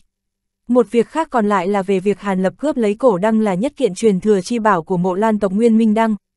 Mấy vị thần sư mộ lan tộc sau khi hòa đàm cũng tỏ rõ ý kiến, Minh Đăng này là truyền thừa bảo vật của mộ lan nhân bọn hắn, quyết không thể để thất lạc trong tay người ngoài. Lúc này muốn lấy về từ trong tay Hàn Lập, Hàn Lập cũng không có ý tứ dứt khoát từ chối, lúc này giờ công phu sư tử ngoạm, kêu đối phương dùng số lượng đông đảo canh tinh đến cùng hắn trao đổi. Đáng tiếc thứ canh tinh này, mộ lan nhân cũng không có bao nhiêu, căn bản không thể đưa ra nhiều như thế, chỉ có một khối nhỏ mà thôi. Cũng không làm sao hơn, Hàn Lập cũng chỉ có thể yêu cầu đối phương dùng chân hy tài liệu khác thay thế, rồi đem trả lại cổ đăng. Hắn không có ý tứ thực sự lưu lại ngọn đăng này. Cổ đăng này cố nhiên là thần kỳ ảo diệu nhưng cũng là vật cầm vào phòng tay. Lưu ở trong tay một ngày dễ bị đông đảo mộ lan pháp sĩ nhìn chăm chú một ngày. Cứ như thế sớm muộn cũng gặp chuyện không may, hay là sảng khoái bỏ đi mới thật là tốt chương 781, Nam Cung Kinh Biến, Hàn Lập hướng túi chữ vật bên hông liếc mắt một cái. Sau khi trả lại cổ đăng, mặc dù hắn không có nói gì nhưng đám mộ lan pháp sĩ này khi đưa tài liệu tới lại đem hai kiện tử thành đâu cùng hoa lam cổ bảo bị đoạt trước đây đồng loạt hoàn lại. Xem ra mộ lan nhân cũng rất rõ ràng, muốn ở lại lâu dài tại thiên nam. Tự nhiên không thể đắc tội với cao giai tu sĩ của nơi này. Đem cổ bảo này hoàn trả lại cũng là vì không muốn khiến hắn oán hận. Dù sao hắn tuổi còn trẻ mà thần thông đã ghê gớm như vậy, cho dù các mộ lan thần sư cũng có vài phần kiêng kỵ. Một khi cầm lại cổ bảo, Hàn Lập đã đem tử thành đâu đưa cho Ngân Nguyệt. Mặc dù nữ nhân này chỉ có thể lấy thân yêu hồ hiện ra mới có thể sử dụng pháp bảo này nhưng gần đây mấy lần lập công lớn, Hàn Lập không phải là người keo kiệt, tự nhiên phải có tưởng thưởng. Cái tử thành đâu này Ngân Nguyệt dùng rất thuận tay, không có đổ thưởng nào tốt hơn. Không biết có phải là do tin tức bọn họ cùng mộ lan nhân liên thủ truyền ra mà đột một nhân trong lúc nhất thời lại do dự. Bọn họ mặc dù phái tới đại lượng người tu tiên tới khu vực kề cận Thảo Nguyên nhưng cũng không có lập tức phát khởi công kích. Chỉ yên lặng quan sát cử động của thiên nam cùng mộ lan nhân. Bộ dáng sẽ không chủ động gây phiền toái trong thời gian tới. Nhưng đột một nhân càng làm ra bộ dáng như vậy, đám người trí dương thượng nhân cùng long hàm tâm lý lại càng trầm trọng. Đối phương trịnh trọng như thế xem ra âm mưu thật sự không nhỏ hơn phân nửa là thật sự muốn đánh thiên nam, mắt thấy loại rằng con này có thể kéo dài, các tông phái đệ tử ở thiên nam không thể hao tổn thời gian lâu ở chỗ này. Lúc này sau một phen thương lượng thì thi hành phương pháp lúc đầu đã thỏa thuận với cửu quốc minh. Tất cả tông môn cùng phái một số đệ tử tinh nhuệ thay phiên đóng quân bên cạnh mộ lan lưỡng quốc. Vạn nhất mà đột một nhân phát khởi công kích và mộ lan nhân gặp khó khăn thì những người này tự nhiên có thể đi vào trợ giúp các tu sĩ còn lại thì có thể phản hồi tông môn. Hàn Lập Thân là Lạc Vân Tông trưởng lão, cùng vị Lữ Sư Huynh tự nhiên có không ít chuyện, dưới tình huống cơ hồ đại bộ phận đệ tử cũng trở về nên hắn mới có thể thoát thân, phản hồi Lạc Vân Tông. Mà Lữ là còn có một sự tình muốn xử lý nên muốn chỉ hoãn vài ngày. Hàn Lập tự nhiên quay về trước, dọc theo đường đi, Hàn Lập không có chỉ hoãn chút nào, trực tiếp dùng ngự phong xa bay đi. Điều này giúp cho hắn rút ngắn được non nửa lộ trình. Nhưng khi vừa tiến vào khê quốc Hàn Lập đã đem cái xe này thu hồi để tránh gây ra sự chú ý quá mức. Khoảng cách hơn trăm dặm bây giờ đối với Hàn Lập mà nói, cơ hồ thoáng cái là tới ngay. Khi Hàn Lập nhìn thấy bóng dáng Vân Mộng Sơn xa xa, trong đầu không khỏi hiện ra hoa dung nguyệt mạo của Nam Cung Uyển, trên mặt lộ ra vẻ vui mừng. Là chuyện gì xảy ra? Trong gian mật thất hiếm người biết ở Lạc Vân Tông, Hàn Lập nhìn lão giả tóc bạc, một chữ không nói. Trên mặt tràn ngập vẻ giận dữ cùng sát khí. Khi vừa mới trở lại Lạc Vân Tông, chưa kịp trở lại động phủ đã bị lão giả tóc bạc nửa đường ngăn lại, rồi đưa đến mật thất tràn ngập âm hàn chi khí này. Ở chỗ này, Hàn Lập thất kinh nhìn thấy Nam Cung Uyển. Chỉ là lúc này Nam Cung Uyển đã hóa thành một nữ đồng khoảng 8 tuổi, bị phong bế trong một bức tường băng, hai mắt nhắm nghiền không biết gì hết. Điều này làm cho Hàn Lập kinh sợ dị thường. Khổ, nếu sư đệ quay về sớm hơn nửa tháng thì tốt, Nam Cung muội tử mới xảy ra chuyện nửa tháng trước, nếu có ngươi, nói không chừng có thể ngăn cản việc này phát sinh. Bất quá trong thời gian ngắn tánh mạng đệ muội cũng không đáng lo, chỉ là lo ma đạo phong hồn chú bên trong. Chỉ có thể dùng pháp thuật duy trì không để nó phát tác lão giả tóc bạc cười khổ một tiếng chậm rãi giải thích. Phong hồn chú, Uyển Nhi như thế nào lại dính vào loại âm chú này? Bí thuật này không phải là đã sớm thất truyền tại thiên nam sao? Chẳng lẽ là, vừa nghe lão giả nói, Hàn Lập đầu tiên là ngẩn ra rồi lập tức nhớ tới cái gì, trên mặt lộ ra vẻ kinh nghi. Chứng kiến Hàn Lập tựa hồ đoán được cái gì, lão giả tóc bạc cũng không hỏi tới mà đem tao ngộ của Nam Cung Uyển kể tường tận lại cho Hàn Lập một lần. Nguyên nửa tháng trước vào một buổi sáng, Nam Cung Uyển giống như trước, đi tới một tiểu sơn gần động phủ lấy thiên âm lộ dùng để tu luyện luân hồi quyết. Nhưng không nghĩ tới, mới vừa tới đó thì chợt có một gã hắc bào nam tử xuất hiện. Gã nam tử này không nói lời nào, vừa thấy Nam Cung Uyển tới đã lập tức thi triển ma đạo công pháp lợi hại dị thường công kích, phá tan cả kiện hộ thân chi bảo của Nam Cung Uyển. Nam Cung Uyển thấy vậy đại kinh, lập tức huyết dài cầu cứu đồng thời cực lực chạy về hướng động phủ. Nhưng khi lão giả tóc bạc cùng chúng đệ tử Lạc Vân Tông nghe thấy tín hiệu chạy đến nơi thì chỉ thấy Nam Cung Uyển đã tránh né không kịp, bị đối phương nhẹ nhàng điểm một ngón tay lên trán và lập tức xoay người ngã quỵ xuống. Lão giả tóc bạc kinh hãi, lập tức xuất lĩnh các đệ tử nhất tề xuất thủ công kích hắc bào nam tử nọ. Người nọ thấy nhiều Lạc Vân Tông đệ tử xuất hiện như thế thì cũng không có ý tứ liều mạng. Sau khi cười lạnh một tiếng thì ném trên mặt đất một cái ngọc giản rồi như tia chớp phi độn rời đi, căn bản không có người nào có thể truy cản được. Lão già tóc bạc cũng không truy đuổi mà vội vàng đem Nam Cung Uyển cứu trở về và lập tức cứu trị. Nhưng lúc này mới phát hiện, Nam Cung Uyển bị trúng phong hồn chú. Loại chú này nghe đồn là một trong năm loại ma đạo cấm chế bí thuật đã thất truyền tại Thiên Nam từ lâu. Ai trúng cấm chế này thì ba hồn bảy phách sẽ chậm rãi bị phong ấn. Sau đó tùy theo tu vi của người bị phong ấn, hồn phách sẽ dần dần tiêu tán. Lúc này người chúng chú cũng chỉ còn nhục thân vô dụng. Đây nguyên bản là thủ đoạn đặc biệt mà ma đạo sử dụng để đối phó với cửu địch. Ác độc dị thường, lão giả một khi nhận ra loại cấm chế này thì tự nhiên trong lòng cực kỳ kinh hãi. Nhất thời chân tay luống cuống không biết làm sao, nhưng vào lúc này, Nam Cung Uyển lại tự động tỉnh lại. Khi biết mình trúng phong hồn chú thì mặc dù sắc mặt tái nhợt nhưng lại lập tức nghĩ ra một giải pháp cấp cứu tạm thời. Nàng quyết định dùng thần thông của luân hồi quyết nào đó, dùng hàn khí để phong ấn chính mình. Loại phong ấn này chẳng những giúp cho thân thể Nam Cung Uyển hoàn toàn bị cấm chế mà còn trì hoãn ngay cả thời gian phong hồn chú phát tác. Vì vậy trước mắt Hàn Lập bây giờ, bộ dáng Nam Cung Uyển thành như vậy. Lão giả sau khi đem hết những lời này nói ra, lại từ trên người lấy ra hai khối ngọc thanh hồng giản, phân biệt đưa cho Hàn Lập. Một khối là do hắc bào nam tử ra tay với đệ muội lưu lại. Một khối khác là do đệ muội trước khi thi triển phong ấn thuật lưu lại. Sư đệ trước tiên xem một chút vị trình sư huynh thở dài nói. Hàn lập mặt âm trầm không nhận ngay hai cái ngọc giản mà đánh giá quá một chút, trước hết xem bề ngoài ngọc giản do Nam Cung Huyền lưu lại. Một lát sau, hắn đem tâm thần tiến vào trong ngọc giản. Trên mặt lộ ra một tia kỳ quái, vừa có chút lo lắng nhưng lại có chút vui mừng. Điều này làm cho lão giả tóc bạc một bên nhìn Hàn Lập chăm chú. Cái ngọc giản này Nam Cung Uyển chỉ đích danh muốn giao cho Hàn Lập nên lão cũng không có xem qua một cái. Dù sao trên ngọc giản động tay động chân, làm cho người ta phát hiện ra việc bị người khác đã xem qua là chuyện rất dễ dàng. Lão giả cũng sẽ không vì việc nhỏ này mà làm ra chuyện không sáng suốt. Theo việc Hàn Lập hiển lộ thần thông cùng danh tiếng dần dần lên cao, hình ảnh của hắn trong tâm mọi người tự nhiên không thể so sánh với trước kia. Xem hết ngọc giản do Nam Cung Uyển lưu lại, Hàn Lập sau khi hít sâu một hơi thì lại cúi đầu xem cái ngọc giản đỏ như máu một lát. Nhưng một lát sau, Hàn Lập sắc mặt cực kỳ âm trầm, cuối cùng thậm chí tức giận đến mức hai tay đột nhiên trà sát, một đoàn tử hỏa bỗng nhiên xuất hiện trong tay Hàn Lập bộc phát ra. Cái ngọc giản trong tử hỏa nháy mắt hóa thành một cổ khói xanh, không thấy bóng dáng. Lão già tóc bạc chứng kiến màn này, trong lòng có chút hoảng sợ. Cái ngọc giản đó mặc dù không phải là được quá chú tâm luyện chế, nhưng có thể thản nhiên đem hóa thành khói, hắn tự vấn tuyệt vô pháp làm được loại cử trọng nhược khinh như thế. Xem ra những lời đồn có liên quan đến vị hàn sư đệ này hơn phân nửa đều là sự thật. Thần thông so với Nguyên Anh Trung kỳ tu sĩ còn lớn hơn, hắn thật có đúng là nhân vật được Lạc Vân Tông chiêu lãm hay không? Ngay lúc lão giả trong lòng âm thầm khiếp sợ thì Hàn Lập hơi trầm ngâm một chút rồi mở miệng hỏi. Trình sư huynh, người đã nhìn qua bộ dạng người đánh lén Nam Cung Nguyệt. Bộ dáng hắn như thế nào, tu vi ra sao, xem một chút liệu ta có nhận biết được không? Bộ dáng có thể không phải là thật, trông cũng không tệ lắm, ngũ quan đoan tránh, là nam tử trông còn khá trẻ. Về phần tu vi, đối phương tựa hồ thi triển pháp thuật che giấu, sư huynh ta thần thông rất thấp nên không có cách nào khám phá được. Bất quá tối thiểu cũng phải là nguyên anh trung kỳ, nếu không sẽ không dễ dàng đem Nam Cung đạo hữu đánh bại như thế. Lão giả không suy nghĩ nhiều nói, người tuổi trẻ, Hàn Lập ánh mắt chấp động một chút, có chút ngoài ý muốn. Không sai, bất quá đối phương có tu vi này, khẳng định cũng giống sư đệ, ăn được linh đan rượu dược gì đó hoặc là tu luyện công pháp chú nhan kỳ diệu. Nhưng hắn có khả năng là nhiều tuổi hơn sư đệ vì dù sao tuổi còn trẻ như sư đệ mà có thể ngưng kết nguyên anh thì trong thiên hạ không có mấy người.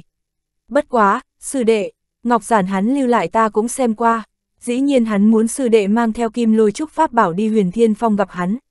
Chẳng lẽ người này thật sự là tấn quốc ma tu, sư đệ thật sự có trí bảo luyện chế từ kim lôi trúc sao?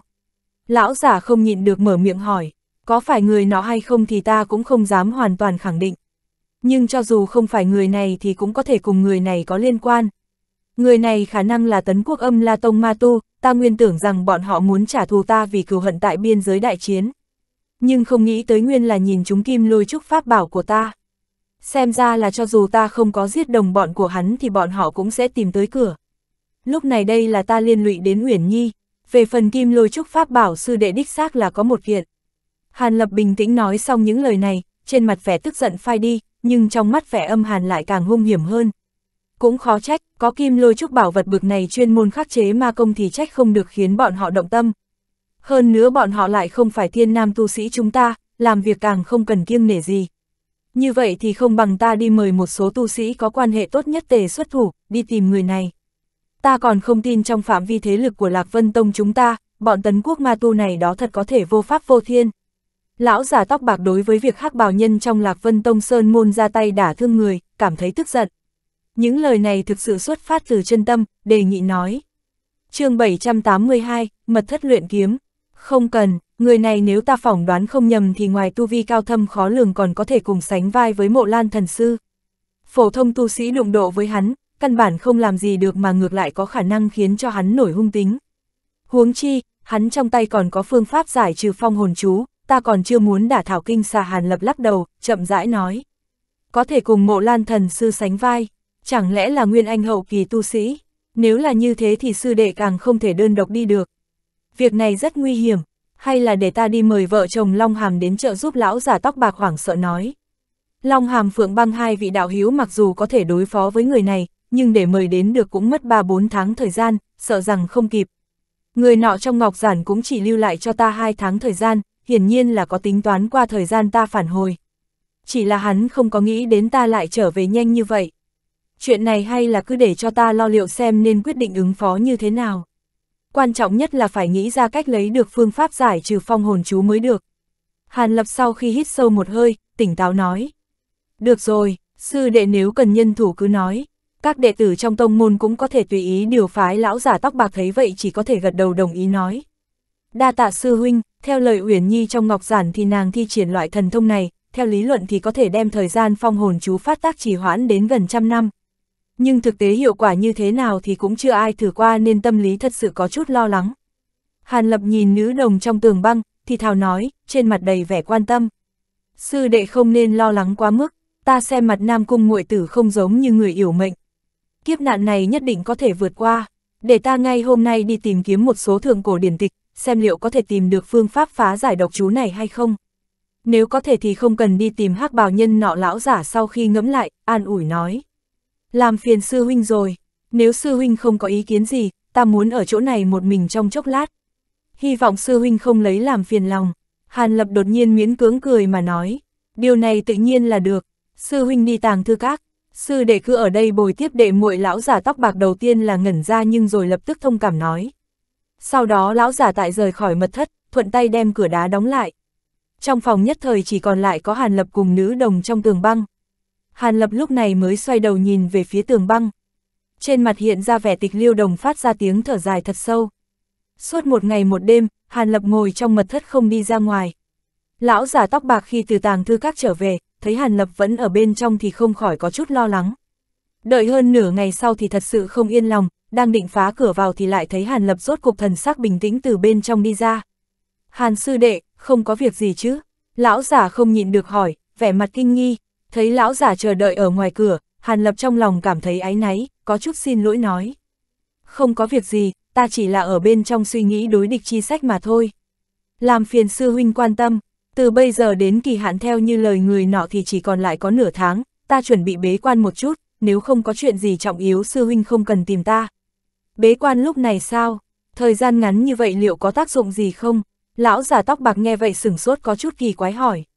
Ta lần này xuất môn kiếm được một ít canh tinh, chuẩn bị đem một số pháp bảo quan trọng luyện chế một chút. Ngày sau đối địch thì cũng có thể tăng thêm vài phần uy lực. Hẳn là dù ít nhưng còn hơn không có hàn lập hàm hồ trả lời. Thì ra là thế, sư đệ cứ việc bế quan đi, ta sẽ dặn dò tông nội đệ tử không được quấy rầy sư đệ. Lão giả lúc này mới chợt hiểu đáp ứng, còn chuyện này, tường băng này đã hình thành, ta cũng không dám mạo muội di chuyển để tránh gây ra nguy hiểm. Vì vậy xung quanh mật thất ta sẽ bày mấy cái pháp trận, đảm bảo cho Uyển Nhi vô sự. Phiền sư huynh quan tâm chiếu cố một chút Hàn Lập trịnh trọng nói. Cái này sư đệ cứ yên tâm, chuyện tình của Nam Cung đạo hiếu tại Lạc Vân Tông chúng ta, đại trưởng lão Nguyên đã đem nơi này liệt vào cấm địa, không cho phổ thông đệ tử tới đây. An nguy của đệ muội quyết không có vấn đề gì, lão già tóc bạc không cần suy nghĩ nói, xem ra cũng đồng dạng lo lắng qua vấn đề này. Nếu là như thế nói, ta cũng an tâm, việc này không nên chậm trễ, ta trước tiên bố trí pháp trận, sau đó lập tức bế quan. Hàn Lập trong mắt hiện lên một tia tinh quang nói rồi trở lại động phủ. Làm cho hắn có chút ngoài ý muốn là mộ phái linh không biết khi nào biết tin hắn quay về đã đứng ở ngoài động phủ chờ hắn. Hàn Lập nét mặt hiện lên một tia kinh ngạc nhưng kêu đi vào động phủ. Nam cung tỷ tỷ không có việc gì chứ? Ta nghe nói nàng bị đả thương nhưng vẫn không có tin tức xác thực khiến ta vẫn lo lắng đến nay mộ phái linh vừa vào đại sảnh, còn chưa kịp ngồi xuống đã lo âu hỏi. Như thế nào, ngươi cùng Uyển Nhi hòa thuận lắm ư? Hàn lập tại ghế chủ tọa ngồi xuống rồi bình tĩnh hỏi. Dạ, ở với nhau rất tốt, Nam Cung tỷ tỷ tính tình rất tốt, lúc công tử không có ở đây còn nhiều lần chỉ điểm cho ta tu luyện. Có lợi không ít trong quá trình tu luyện, mộ phái linh không chút do dự nói. Hàn lập im lặng trong chốc lát, mới lộ ra vẻ cười khổ. Nghe ngươi nói như thế ta phải cao hứng mới phải. Bất quá Uyển Nhi bây giờ chúng phong hồn chú, lâm vào trong phong ấn nên ta cũng thật sự không cách nào cao hứng được. Nhưng gần mấy tháng không gặp mà tu vi của ngươi tăng tiến rõ ràng. Điều này cho thấy ngươi tu luyện đích xác là không có lơi lỏng. Điều này làm cho ta rất vui mừng. Tiếp theo đây ta sẽ bế quan hơn một tháng để nghĩ cách giải khai độc chú cho Uyển Nhi. Phong hồn chú, loại ma đạo độc chú này thật là phiền toái. Công tử, người hẳn có biện pháp gì chưa? Mộ phái linh không khỏi cả kinh hỏi, có thể có biện pháp nào chứ? Chỉ có từ người hạ chú xuống tay thôi, chỉ cần hắn rơi vào tay ta, tự nhiên là có biện pháp làm cho hắn ngoan ngoãn phun ra phương pháp giải chú hàn lập thần sắc đột nhiên âm lệ nói. Mộ phái linh nghe đến đó, nhất thời cũng chỉ có thể nhíu mày. Đang lúc này, Hàn Lập nhận thấy đệ tử ký danh Liễu Ngọc kia cũng đến cửa. Sau khi hướng vị sư phụ Hàn Lập này vấn an thì cũng hỏi đến chuyện Nam Cung Uyển. Nữ nhân này rất cơ trí nên đã sớm tận lực giao hảo với vị tân sư nương Nam Cung Uyển. Hàn Lập thấy nữ nhân này đã đến nên cũng không giấu giếm cái gì, đem chuyện phong hồn chú đại khái nói một lần. Làm cho Liễu Ngọc cũng phải chấn động, bất quá lấy tu vi cùng kiến thức của nữ nhân này mà cũng đồng dạng thúc thủ vô sách. Hàn Lập không có tâm tư cùng nhị nữ nói thêm cái gì, sau khi nói xong thì bắt đầu tiến khách. Nhị nữ tự nhiên cũng không quấy rầy Hàn Lập thêm, đi ra khỏi động phủ. Bất quá mới vừa ra khỏi cửa động phủ, Liễu Ngọc Thu ba lưu chuyển rồi đột nhiên cười dài hỏi mộ phái linh. Mạc đạo Hiếu người mặc dù thân là thị thiếp của sư phụ nhưng hình như vẫn còn tấm thân xử nữ. Khó trách sư phụ đối với người cứ như là khách nhân. Lấy dung mạo đạo Hiếu, chẳng lẽ sư phụ lại không động tâm sao? Hay là trong đó có huyền cơ? Gì khác, Nam Cung Sư Nương nói về dung mạo còn trên cả ngươi. Ngươi nên tự lo cho bản thân thật tốt đi. Ngươi nói lời này là có ý tứ gì? Mộ phái linh sừng sốt, sắc mặt có chút đỏ lên muốn giải thích cái gì, nhưng người trước mắt sau khi cười khẽ một tiếng thì người hóa thành một đạo quang hoa phá không mà đi. Mộ phái linh kinh ngạc đứng tại chỗ hồi lâu rồi mới dậm chân mạnh một cái, ngự khí bay khỏi. Hàn Lập vừa thấy hai nàng rời đi, mới rãnh rỗi xem dược viên cùng trùng thất. Hết thảy đều rất bình thường, Hàn Lập lúc này lập tức mang theo một ít tài liệu luyện khí tiến vào mật thất. Hắn muốn vận dụng nguyên anh chi hỏa đem canh tinh hóa vào trong 36 khẩu phi kiếm. Lại nói tiếp, canh tinh hắn ngoại trừ lấy được từ trí dương thượng nhân và mộ lan nhân thì tại thiên nhất thành trước khi trở về, Long Hàm mượn thế lực thiên đạo minh giúp hắn tìm được một khối nhỏ khác. Kể từ đó, vật liệu dùng để trộn lẫn vào 30 khẩu phi kiếm hoàn toàn có thừa. Đem tài liệu gia nhập pháp bảo đã luyện chế cũng không phải là chuyện khó khăn phức tạp gì. Nhưng muốn trong thời gian ngắn ngủi hơn một tháng mà làm được việc này thì lại có chút cực kỳ vội vàng.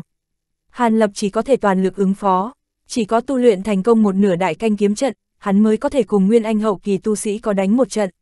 Mà vị hắc bào tu sĩ hạ phong hồn chú với cung huyền, 89 phần 10 là vị âm la tông tông chủ kia. Hắn nhất định cần phải từ trong miệng đối phương có được phương pháp giải chú. Vì vậy tiểu canh kiếm trận này là đòn sát thủ tối hậu của hắn. Nghĩ tới đây, Hàn lập tay đem túi chữ vật bên hông tháo xuống, hướng lên không trung tế ra. Chỗ miệng túi phát ra ánh hà quang chấp động rồi vài khối canh tinh lớn nhỏ không đồng nhất rơi trên mặt đất. Tiếp theo lại từ trong một cái túi chữ vật khác lấy ra tài liệu phụ trợ, đồng dạng đặt ở dưới chân. Hàn lập khoanh chân ngồi xuống, lập tức nhìn khối canh tinh nhỏ nhất điểm một chỉ. Khối đạm kim sắc nguyên thạch này lập tức phiêu phù trên không chậm rãi bay về phía Hàn lập. Hàn lập mắt nhìn không chấp số phi đao trước người hơn ba thước đang trôi nổi bất động, hai tay bắt huyết trong miệng phun ra một đoàn thanh quang anh hỏa chói mắt. Bịch một tiếng vang nhỏ, thanh sắc anh hỏa lúc kích lên canh tinh nguyên thạch, trong nháy đem nó bao vào trong. Hàn lập trong miệng chậm rãi đọc chú ngữ, thanh sắc anh hỏa nhất thời càng thêm vượng thịnh, hỏa quang tăng vọt một chút và liên tục duy trì như vậy, nguyên thạch bên trong bắt đầu dần dần tan chảy ra. Hàn lập trên mặt thần sắc bắt đầu ngưng trọng, nhìn vật ấy chằm chằm không chớp mắt. Sau nửa canh giờ, hơn phân nửa tạp chất đã hóa thành nhũ bạch sắc dịch thể nhỏ giọt trên mặt đất. Canh tinh nguyên thạch đã biến thành một khối bán thấu minh tồn tại, thể tích cũng thu nhỏ lại so với nguyên bản hơn phân nửa. Xem đến đây, Hàn Lập vung tay áo, tùy ý ném trên lên mặt đất một cái hộp ngọc. Nắp hộp trong phút chốc tự động mở ra, bên trong lộ ra bột phấn màu ngân xám. Số bột phấn này lập tức hóa thành một đạo ngân xà, tự động bay lên không trung tiến vào dịch thể trong suốt.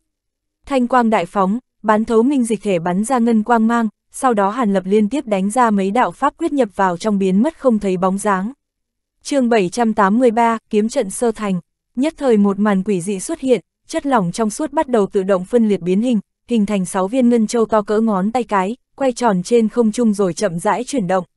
Hàn Lập hít sâu một hơi, đột nhiên cắn chót lưỡi phun ra một khẩu tinh huyết. Kết quả tinh huyết sau khi bám lên hạt châu này thì toàn bộ đều bị hút vào. Hạt châu nhan sắc nhanh chóng biến đổi chuyển biến thành kim hoàng sắc, giống như được chế tạo từ xích kim. Nhìn thấy diễn biến trước mặt, tinh thần Hàn Lập rung lên. Lần nữa há miệng, một đạo thanh mang bắn ra sau khi xoay quanh một cái thì đứng ở trước mặt Hàn Lập. Đây là một thanh tiểu kiếm dài cỡ một tấc, linh quang lóe ra.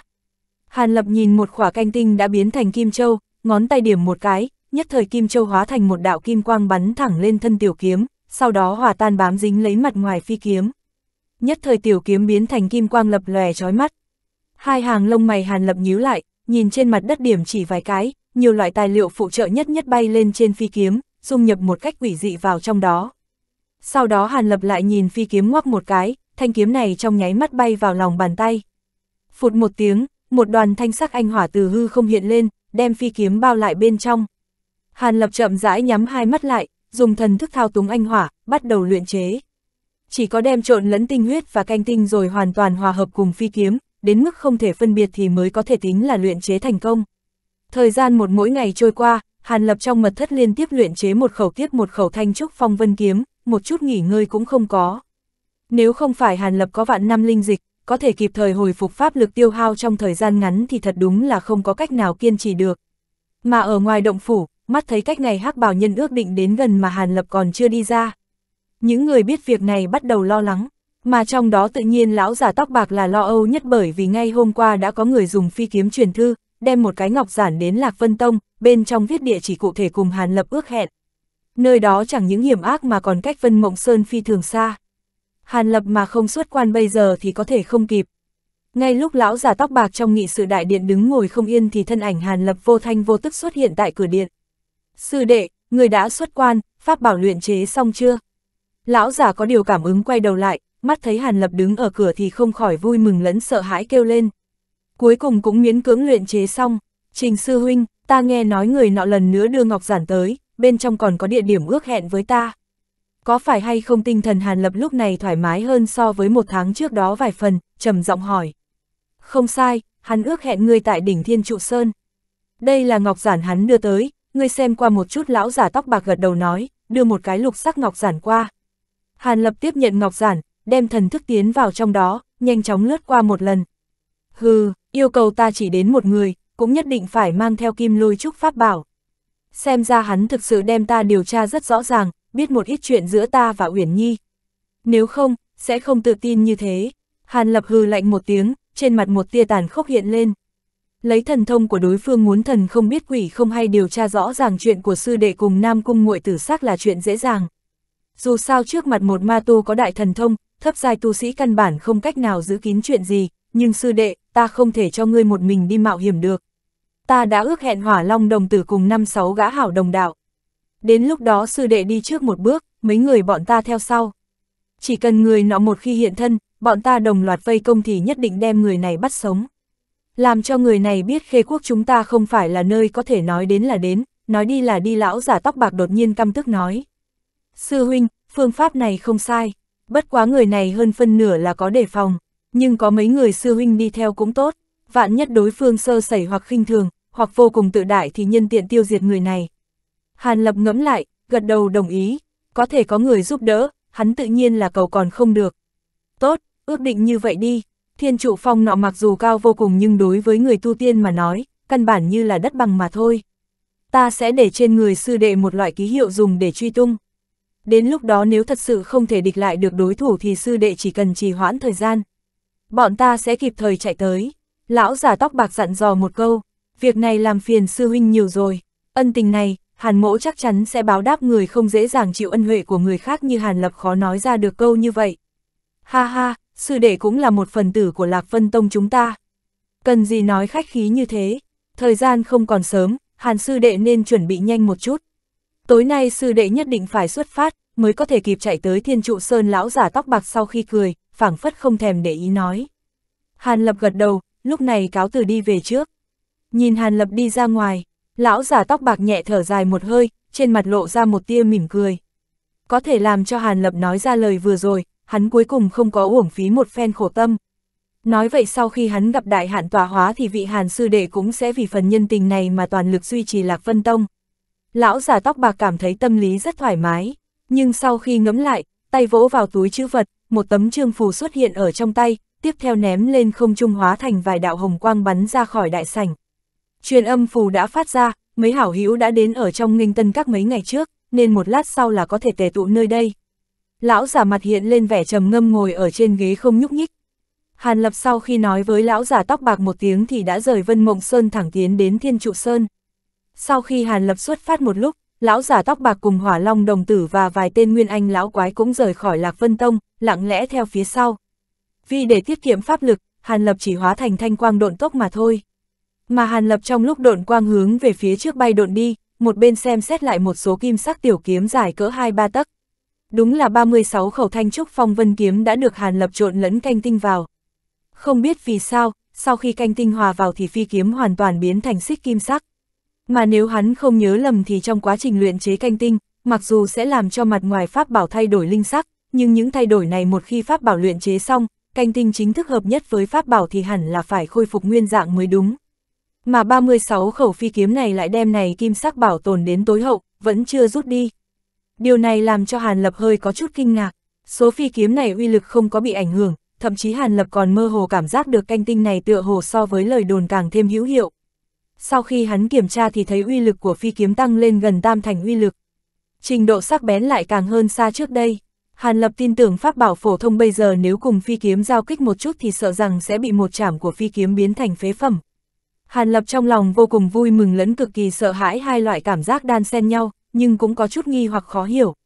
Cuối cùng hắn nghĩ đến nguyên liệu chủ đạo làm phi kiếm mà lúc trước đã trộn lẫn kim lôi trúc. Lúc trước hắn đã từng trộn lẫn vào một loại tài liệu quý trọng khác chính là luyện tinh. Đám tài liệu đó không vật nào không phải là hy hãn dị thường. Chẳng lẽ sau khi trộn lẫn với canh tinh thì lại tạo ra biến hóa không tưởng tượng được.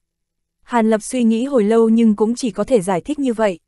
Nếu chuyện phát triển theo hướng tốt thì hắn cũng không nguyện hao tâm tốn sức đi nghiên cứu việc này làm gì, mà đem tâm tư toàn bộ đặt ở trên đại canh kiếm trận. Thần thông này cơ hồ không cần Hàn Lập cố ý tu luyện nhưng lại dễ dàng thi triển được. Hàn Lập trong mật thất đã kiểm tra qua uy lực của kiếm trận này một chút. Kết quả làm cho Hàn Lập trợn mắt há mồm, kiếm trận này uy lực thật lớn, điều đó chứng thực trang sách vàng nó không có khuế đại chút nào. Mặc dù bây giờ chỉ có thể tạo thành một cái đại canh kiếm trận đơn giản, nhưng kiếm trận này thần diệu đến mức đã làm cho Hàn Lập phải tự thán, đối với chuyến đi này tin tưởng hơn nhiều. Nếu không Hàn Lập làm sao thành thật đi gặp đối phương như thế. Phong hồn chú mà Nam Cung Uyển bị nhất định phải giải, nhưng không có đại canh kiếm trận mà nói, Hàn Lập đồng dạng sẽ không ngoan ngoãn đi chịu chết, chịu sự sắp đặt của người khác. Đương nhiên có thể đối phó với Nguyên Anh hậu kỳ tu sĩ hay không, thì do Hàn Lập cũng chưa có cùng hậu kỳ tu sĩ chính thức đấu qua nên không thể nào nắm chắc được. Nhưng Nguyên Anh trung kỳ tu sĩ một khi lâm vào trong kiếm trận này, Hàn Lập ít nhất cũng có 8-9 thành nắm chắc có thể vây khốn thậm chí diệt sát đối phương. Có loại thần thông này, tối thiểu trước mặt Nguyên Anh hậu kỳ tu sĩ cũng thừa khả năng tự bảo vệ mình. Bất quá, như thế nào từ trong miệng đối phương biết được phương pháp giải trừ phong hồn chú thì không khỏi có chút phiền phức. Hàn Lập cũng chỉ có cách gặp mặt hắc bào nam tử nọ, đi bước nào biết bước ấy, hành sự tùy theo hoàn cảnh. Sau khi than nhẹ, trong tay Hàn Lập kim quang chợt lóe, tiểu kiếm biến mất, tiếp theo hắn dùng thần thức hướng về phía sau quét qua một chút. Vẫn chưa phát hiện hành tung của đám người lão giả tóc bạc, Hàn Lập cũng không kỳ quái. Vì sợ hắc bào nhân âm thầm rình coi, bọn họ khẳng định còn trốn xa xa dùng bí thuật truy tung. Dù sao đối phương có khả năng là nguyên anh hậu kỳ ma tu, bọn họ tự nhiên phải cực kỳ cẩn thận để tránh bị lộ tung tích, gây ra chuyện không hay. Thiên trụ sơn ở phía tây Vân Mộng Sơn, chỉ có một tòa tiểu sơn nhưng lại cao hơn vạn trượng, cho nên có xưng là thiên trụ sơn. Từ xa nhìn lại, một phần ba ngọn núi này chìm trong mây mù, có vẻ cực kỳ hùng vĩ hiểm trở. Mà núi này bốn phía tất cả đều là một dải đồi núi thấp lùn. Đứng trên sườn núi có thể đem hết thảy phụ cận thu vào trong mắt.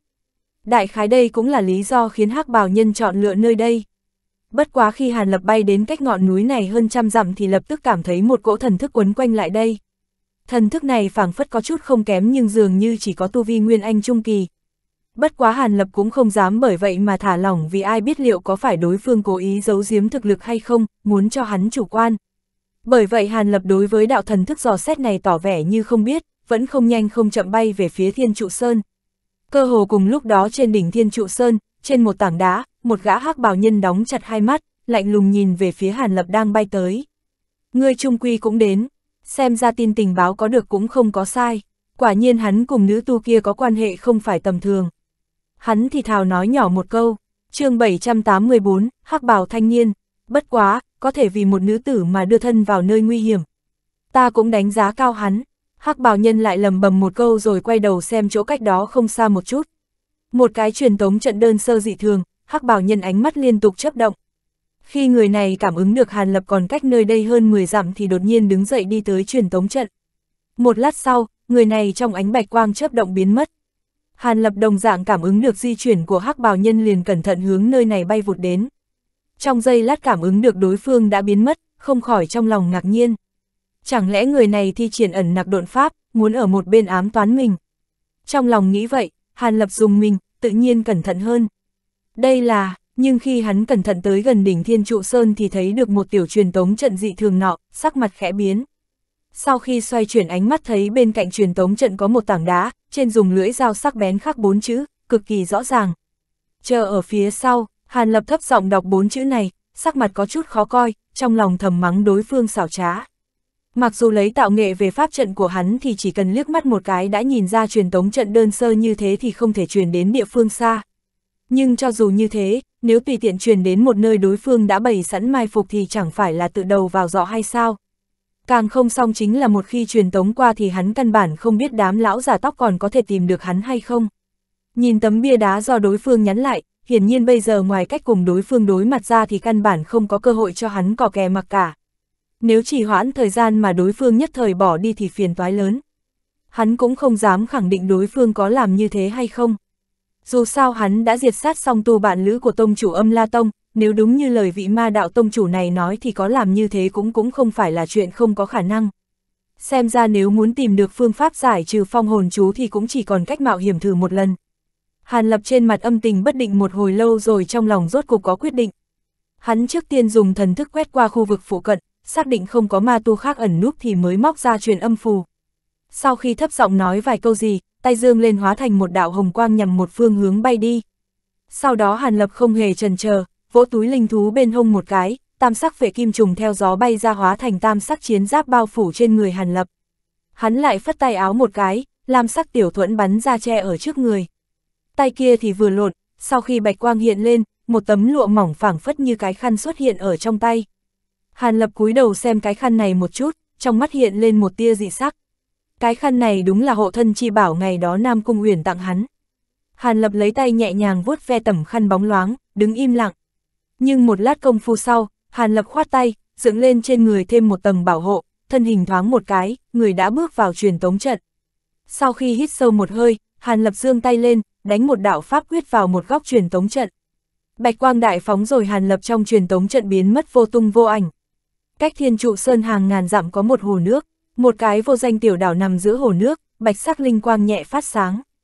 Thân ảnh Hàn Lập hiện lên, khi hắn mới vừa truyền tống ra, trong nháy mắt không để ý đến việc sau khi truyền tống thân thể không được khỏe, mà không chút nghĩ ngợi trước tiên thúc dục Lam Quang Thuẫn trước người, nhất thời đem cái thuẫn này bành trướng, đem hơn phân nửa thân thể che ở sau đó. Bất quá Hàn Lập không có cảm nhận được bất cứ công kích gì, lúc này trong lòng mới hơi bình tĩnh hướng chung quanh đánh giá một chút. Không cần lo lắng, đối phó với một gã nguyên anh sơ kỳ tu sĩ, tại hạ còn chưa cần đánh lén. Mặc dù nghe nói ngươi không phải một tu sĩ sơ kỳ phổ thông. Một thanh âm xa lạ đối diện Hàn Lập cách đó không xa truyền đến. Hàn Lập vừa nghe thấy thanh âm này, trong lòng vừa động. Người này tuyệt đối không phải là âm la tông tông chủ, chẳng lẽ thật sự là ma tu khác làm việc này. Hàn Lập trong mắt hiện lên vẻ kinh ngạc, hướng chỗ thanh âm truyền ra nhìn qua. Chỉ thấy một gã hắc bào thanh niên tầm hơn 20 tuổi, ngoài khoảng cách hơn 30 trượng hai tay vắt sau lưng bất động thanh sắc nhìn. Mặc dù Hàn Lập chưa bao giờ gặp qua chân diện mục của âm La Tông Tông Chủ, nhưng vô luận hình thể hay thanh âm thì người này cũng quyết không phải là hắc bào nam tử đã giao đấu với hợp hoan lão ma trong biên giới chi chiến ngày đó. Hừ, sẽ không đánh lén, vậy sao phải dùng loại thủ đoạn phong hồn chú hạ thủ bản lữ của ta? Hàn Lập ánh mắt đảo qua, dĩ nhiên không cách nào nhìn ra tu vi của người đối diện. Điều này làm cho hắn hai mắt híp lại, trong tâm thêm cảnh giác nhưng trong miệng lại lạnh lùng châm chọc nói. Lúc này, hết thảy xung quanh đã lọt vào trong mắt. Đây là một chỗ bên bờ ao đầm, nước bùn ao động, khắp nơi đều ẩm ướt dị thường, cách đó không xa là một mảnh rừng cây nhỏ thấp. Lại mơ hồ có tiếng sóng truyền đến, Hàn Lập nhíu mày, tâm thần trong nháy mắt tỏa ra, cảm ứng được linh khí dị thường ba động, quả nhiên có bảy cấm chế. Mặc dù phòng trừng cũng không phải là pháp trận quá lợi hại nhưng truyền tống đến nơi này hoàn toàn đánh mất lợi thế. Hắc hắc, nếu không dùng loại thủ đoạn này thì Hàn đạo hữu sao có thể ngoan ngoãn đến đây. Tại hạ mặc dù có chút thần thông nhỏ nhưng chưa tự đại đến mức cùng cả tông môn các người đối kháng thanh niên không tức giận chút nào, ngược lại chậm rãi nói. Các hạ không phải âm la tông tông chủ, Hàn lập trừng mắt nhìn đối phương, đột nhiên chuyển giọng nói. Như thế nào, tại hạ có chỗ nào giống âm la tông tông chủ sao? hắc bào thanh niên cười hắc hắc nói. Không giống, nhưng có thể dễ dàng lẻn vào lạc vân tông, hơn nữa đả thương người còn có thể bình yên rời đi. Ta thật sự không biết quý tông còn có cao nhân như các hạ vậy. Không biết vì sao không xuất hiện trong đại chiến vừa rồi Hàn Lập hình như có chút khó hiểu, nhưng lại phảng phất tại lầm bầm lầu bầu. Mặc dù tại hạ rất muốn giải thích cho Hàn đạo hữu một chút nhưng ta muốn đạo hữu đến đây không phải vì muốn khai báo lai lịch của tại hạ. Các hạ có mang kim lôi trúc pháp bảo đến không? Thanh niên nhẹ nhàng cười, lộ ra vẻ quỷ dị nói. Nghe thanh niên nói vậy, Hàn Lập lạnh lùng chừng mắt nhìn đối phương, không có nói câu gì. Khổ, Hàn đạo hữu nếu là muốn trì hoãn thời gian thì sợ rằng phải thất vọng. Ta thiết hạ truyền tống trận nhưng chỉ có thể truyền tống hai lần mà thôi. Một khi dùng hết hai lần, một đầu truyền tống trận sẽ tự động hủy diệt. Không có nửa ngày thời gian bọn họ tuyệt vô pháp tìm tới nơi này. Ta nghĩ nửa ngày thời gian cũng đủ xử lý tốt chuyện giữa ngươi và ta hắc bào thanh niên hết sức tự tin nói. Hừ, ngươi muốn biết kim lôi trúc pháp bảo có trên người ta hay không? có phải không trước tiên nói cho ta biết phương pháp giải trừ phong hồn chú? Hàn Lập trong mắt Hàn Quang chợt lóe, nhưng ngữ khí hơi hỏa hoãn nói. Phương pháp giải từ phong hồn chú trong ngọc giản này, nhưng trước tiên đem kim lôi trúc pháp bảo cho tại hạ liếc mắt một cái. Ta cùng bản tông tông chủ bất đồng, ta chỉ muốn kim lôi trúc này, còn chuyện ngươi diệt sát bạn lữ của hắn thì ta không can hệ. Ta cũng chẳng muốn nhúng tay vào việc này. Thanh niên trên mặt vẻ tươi cười vừa thu lại, bàn tay vừa lộn rồi một khối ô hắc ngọc giản xuất hiện ở trong tay. Tiếp theo thanh niên thâm ý nhìn lại đây, đương nhiên có thể, kim lôi trúc pháp bảo mặc dù rất trọng yếu, nhưng đối với tại hạ bạn lữ càng coi trọng hơn vài phần hàn lập hai hàng lông mày nhíu lại không chút do dự nói. Sau đó hắn hai tay hướng trước ngực hợp lại, rồi nhẹ nhàng phân ra, một tiếng lôi minh vang lên, tiếp theo một tia kim hồ rất nhỏ hiện ra, một quả thanh sắc tiểu tiễn xuất hiện ở trong tay. Hàn lập dùng hai ngón tay mang theo tiễn này, mặt vô biểu tình liếc thanh niên một cái. Thanh niên thấy tình cảnh này, trong mắt vẻ tham lam chợt lóe lên, lập tức hơi trầm ngâm một chút rồi đột nhiên cổ tay run lên. Nhất thời hắc sắc ngọc giản trong tay chậm rãi hướng Hàn Lập bay đi. Tốc độ lại cực kỳ chậm giống như có một sợi dây vô hình dính đằng sau. Hàn Lập đầu tiên là ngẩn ra rồi lập tức rõ ràng dụng ý của đối phương. Cũng không nói gì, đồng dạng cầm tiểu tiễn trong tay ném ra với tốc độ vừa phải, chậm rãi hướng đối phương bay đi. Hai người mặc dù tay thao túng đồ vật nhưng ánh mắt lại chăm chú nhìn mặt nhau, mắt không chấp một cái. Khi hai cái đồ vật giao qua nhau thì Hàn Lập cùng thanh niên đều âm thầm thở một hơi. Thần sắc hơi buông lỏng một chút, hai người cơ hồ đồng thời bắt được vật bay đến, vội vàng nhìn thật kỹ. Kết quả hai người sau khi hơi phân biệt cẩn thận một chút thì trên mặt cùng hiện ra vẻ cười khổ. Đây là kim lôi trúc pháp bảo của các hạ. hắc bào thanh niên cười lạnh, hai tay đột nhiên trà sát, một ngân sắc hỏa diễm bùng lên đem thanh sắc tiểu tiễn trong tay nháy mắt hóa thành cho bụi. Tại hạ cũng đồng dạng không nghe nói đến qua ngũ hành công pháp căn bản nhất mà có thể giải trừ phong hồn chú hàn lập mặt không chút thay đổi mà lam hỏa trong tay dâng lên, ngọc giản trong nháy mắt ngưng kết thành băng, sau đó vỡ vụn biến thành tinh quang, biến mất vô tung vô ảnh. Hừ, xem ra chúng ta cũng không tin nổi đối phương, bất quá ta không quan tâm. Tại hạ hỏi hàn đạo hữu một lần cuối cùng, có nguyện ý đem kim lôi trúc pháp bảo giao ra đây hay không? Nếu đem bảo vật này giao cho ta, ta sẽ quay đầu đi và lập tức lưu lại phương pháp cứu trị quý bạn lữ. Nếu không tại hạ sau khi diệt đạo hữu xong thì đồng dạng có thể tìm được pháp bảo này. Cổ bảo này chắc chắn các hạ mang theo người. hắc bào thanh niên thần sắc âm lệ, trên người tản mát ra một tia sát khí, trên mặt ẩn hiện vẻ dữ tợn. Quả là trùng hợp, ý nghĩ của đạo hữu và tại hạ có vài phần tương tự. Nếu các hạ thi triển phong hồn chú, thì phương pháp giải trừ cũng nhất định trong đầu ngươi. Chờ ta giết ngươi xong, đồng dạng có thể tra xét trong nguyên thần, tới lúc đó ta nghĩ sẽ biết được. Hàn lập nhẹ thở một hơi, âm hàn nói, siêu hồn ta, trăm năm nay ngươi là người thứ nhất dám nói chuyện vói ta như thế. Ta sẽ cho ngươi bảo toàn thi thể. hắc bào thanh niên giận dữ cười rộ lên, khoát tay phát ra mấy đạo pháp quyết bay về bốn phía. Phụ cận chợt có một trận oanh minh truyền đến, bảy đạo bạch sắc quang trụ chói mắt phóng lên cao. Đồng thời có tiếng rồng ngâm truyền đến, bảy cột sáng hiện lên đồng thời hiện lên một con ngân bạch sắc giao long, ngửa đầu tê hống. Không tốt, là thất long thung, chủ nhân mau tránh ra. Hàn Lập chưa kịp thấy rõ ràng bảy hạt châu này có gì ghê gớm thì bên tai vang lên thanh âm hoảng sợ của Ngân Nguyệt, tựa hồ cực kỳ sợ hãi. chương 785, kiếm trận sơ triển. Hàn Lập mặc dù không biết thất long thung rốt cuộc có gì lợi hại nhưng nghe thanh âm Ngân Nguyệt hoảng sợ như thế thì trong lòng tự nhiên khẩn trương hẳn lên. Tay áo run lên, 36 khẩu thanh trúc phong vân kiếm phát ra tiếng ông minh đồng loạt từ trong cổ tay áo như ngư du bay ra. Nếu biết đối phương không phải là ma tu bình thường, Hàn Lập cũng không có tâm tư dùng thủ đoạn khác chậm rãi thăm dò sâu cạn của đối phương, trực tiếp thi triển ra phi kiếm mới mới luyện chế thành, ý định nhất cử khắc địch. 36 đạo kim quang dài cỡ một xích, trên đỉnh đầu Hàn Lập xoay quanh một trận rồi liên tiếp phát ra pháp quyết đánh vào phía ngoài. Nhất thời tất cả kim quang nhẹ nhàng run rẩy vài cái, lập tức phân ra hàng trăm đạo kiếm quang giống nhau như đúc đi ra, quang hoa đại phóng. Hàn Lập đang muốn thúc giục pháp quyết, đem số kiếm quang này hình thành đại canh kiếm trận thì bảy cái quang trụ lại đoạt tiên cơ phát động công kích trước. Chỉ thấy trên quang trụ, ngân giao đồng thời xoay đầu nhìn về phía Hàn Lập, miệng hé rộng ra, ngân quang trói mắt, trong miệng phảng như có vật gì muốn phun ra.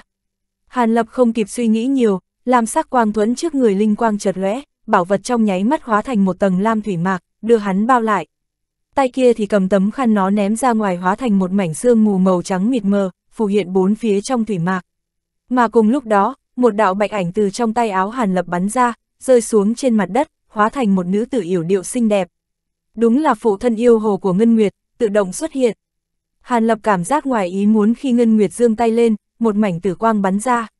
Đúng là kiện tử vân đâu nọ, kiện cổ bảo này theo vẻ mặt khẩn trương của Ngân Nguyệt hóa thành tử sắc hỏa võng bố hạ thêm một tầng bầy phòng hộ bên ngoài.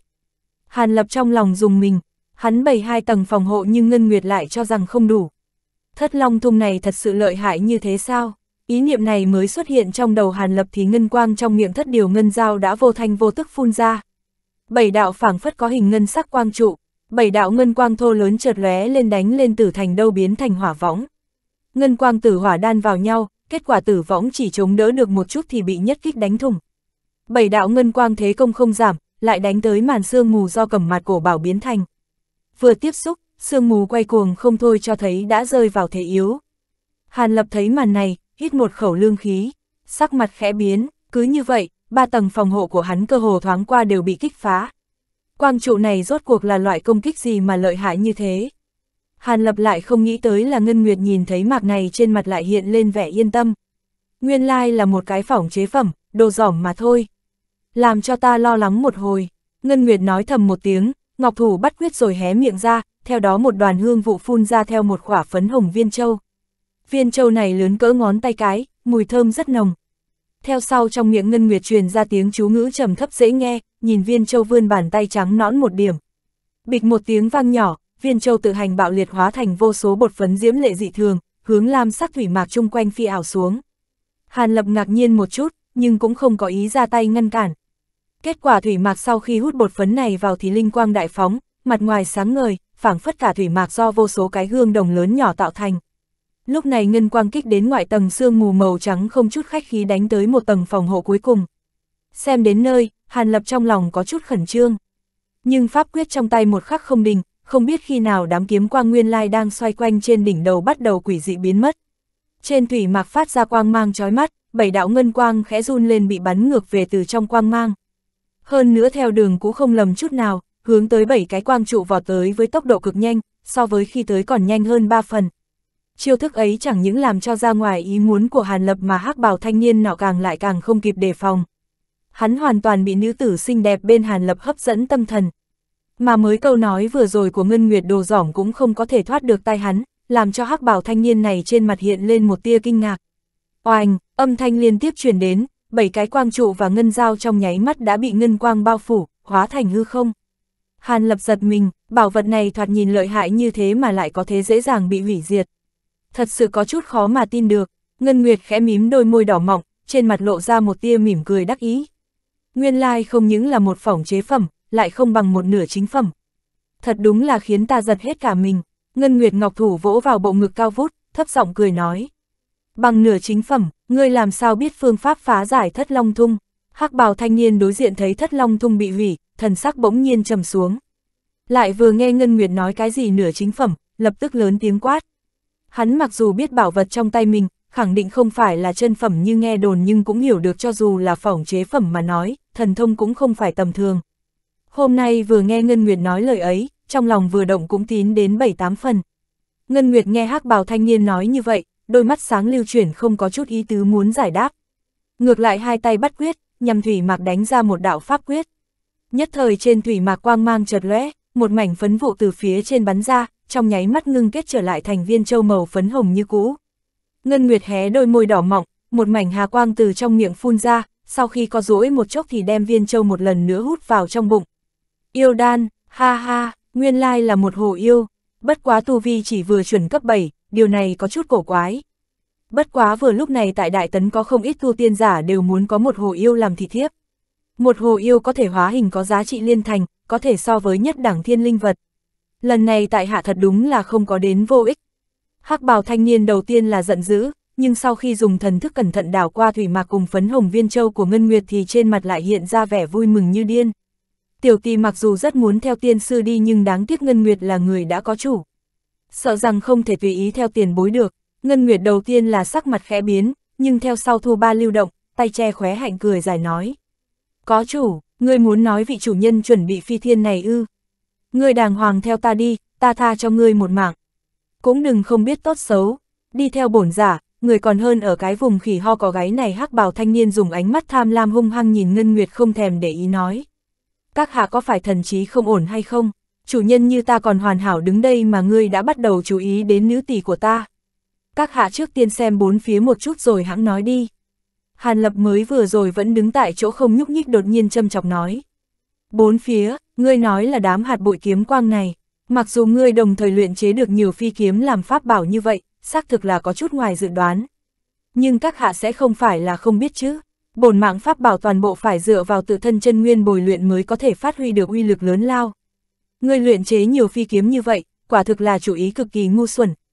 Về phần huyễn hóa ra nhiều kiếm quang đi ra như vậy, càng lại hào nhoáng buồn cười. Loại thần thông này khi cùng đồng giai tu sĩ tranh đấu thì có thể có tác dụng gì? Cho dù ta đứng ở tại chỗ bất động, kiếm quang của ngươi không thể đả thương ta một sợi tóc hắc bào thanh niên sau khi nhìn ra bốn phía bỗng nhiên hiện lên vô số kiếm quang thì khinh thường mà nói. Ngươi nói nghe cũng có lý, bất quá, trước đó ta hỏi đạo hữu một chút, ngươi có phải là nguyên anh hậu kỳ tu sĩ? Nếu là không phải, vậy ngươi đi chết đi. Hàn lập mặt mang vẻ cổ quái, đột nhiên mắt lộ ra sát khí nói. Đồng thời, âm thầm thúc giục pháp quyết lặng lẽ bố trí xong đại canh kiếm trận.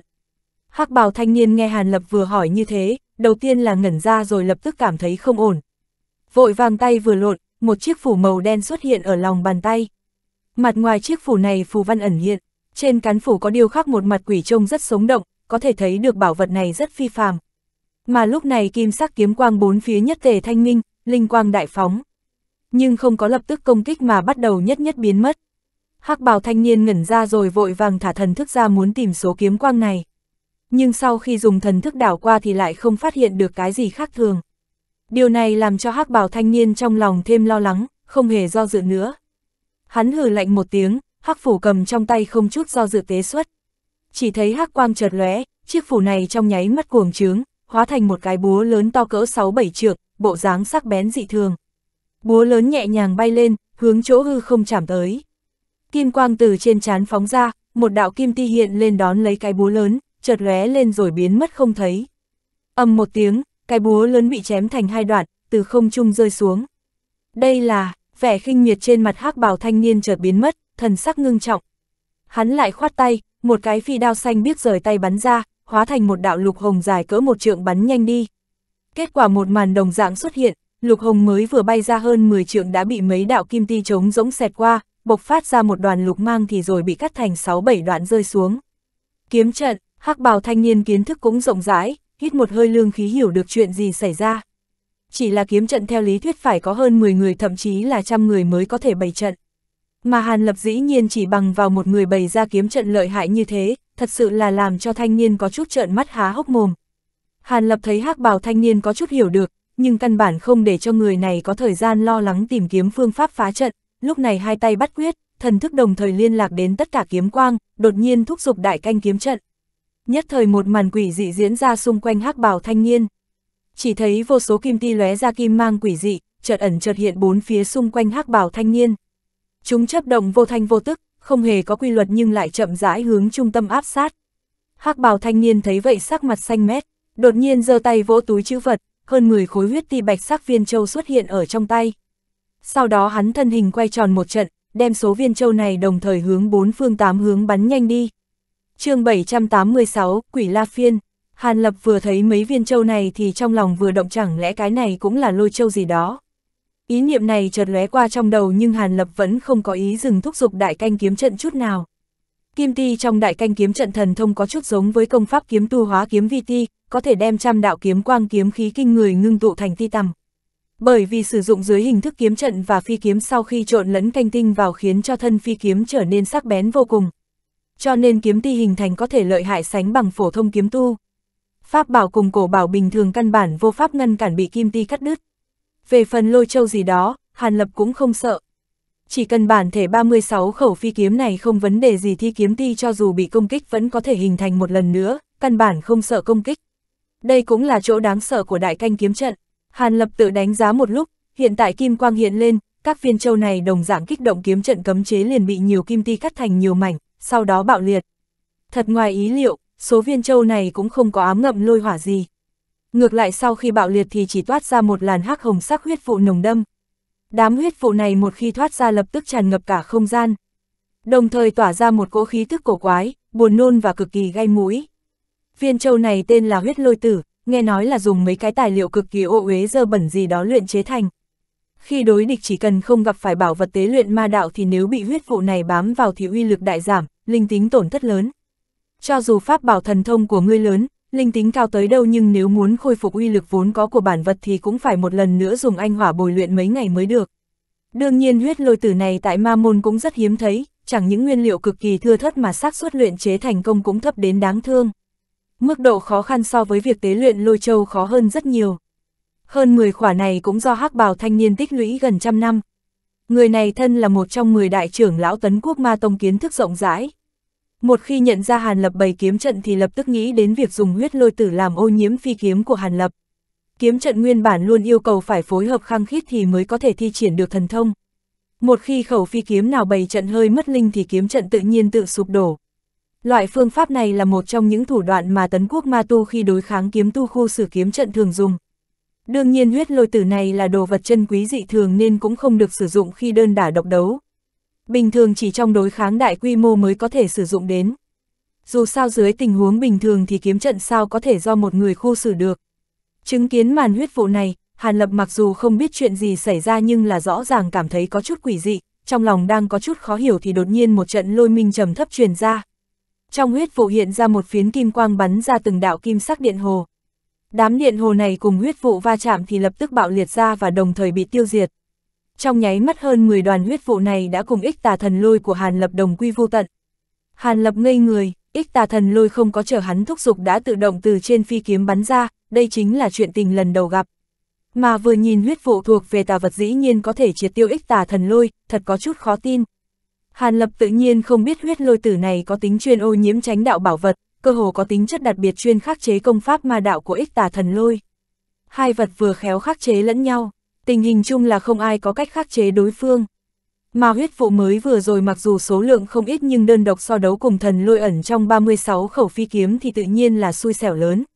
Cho nên huyết vụ trong nháy mắt bị khu trừ sạch sẽ.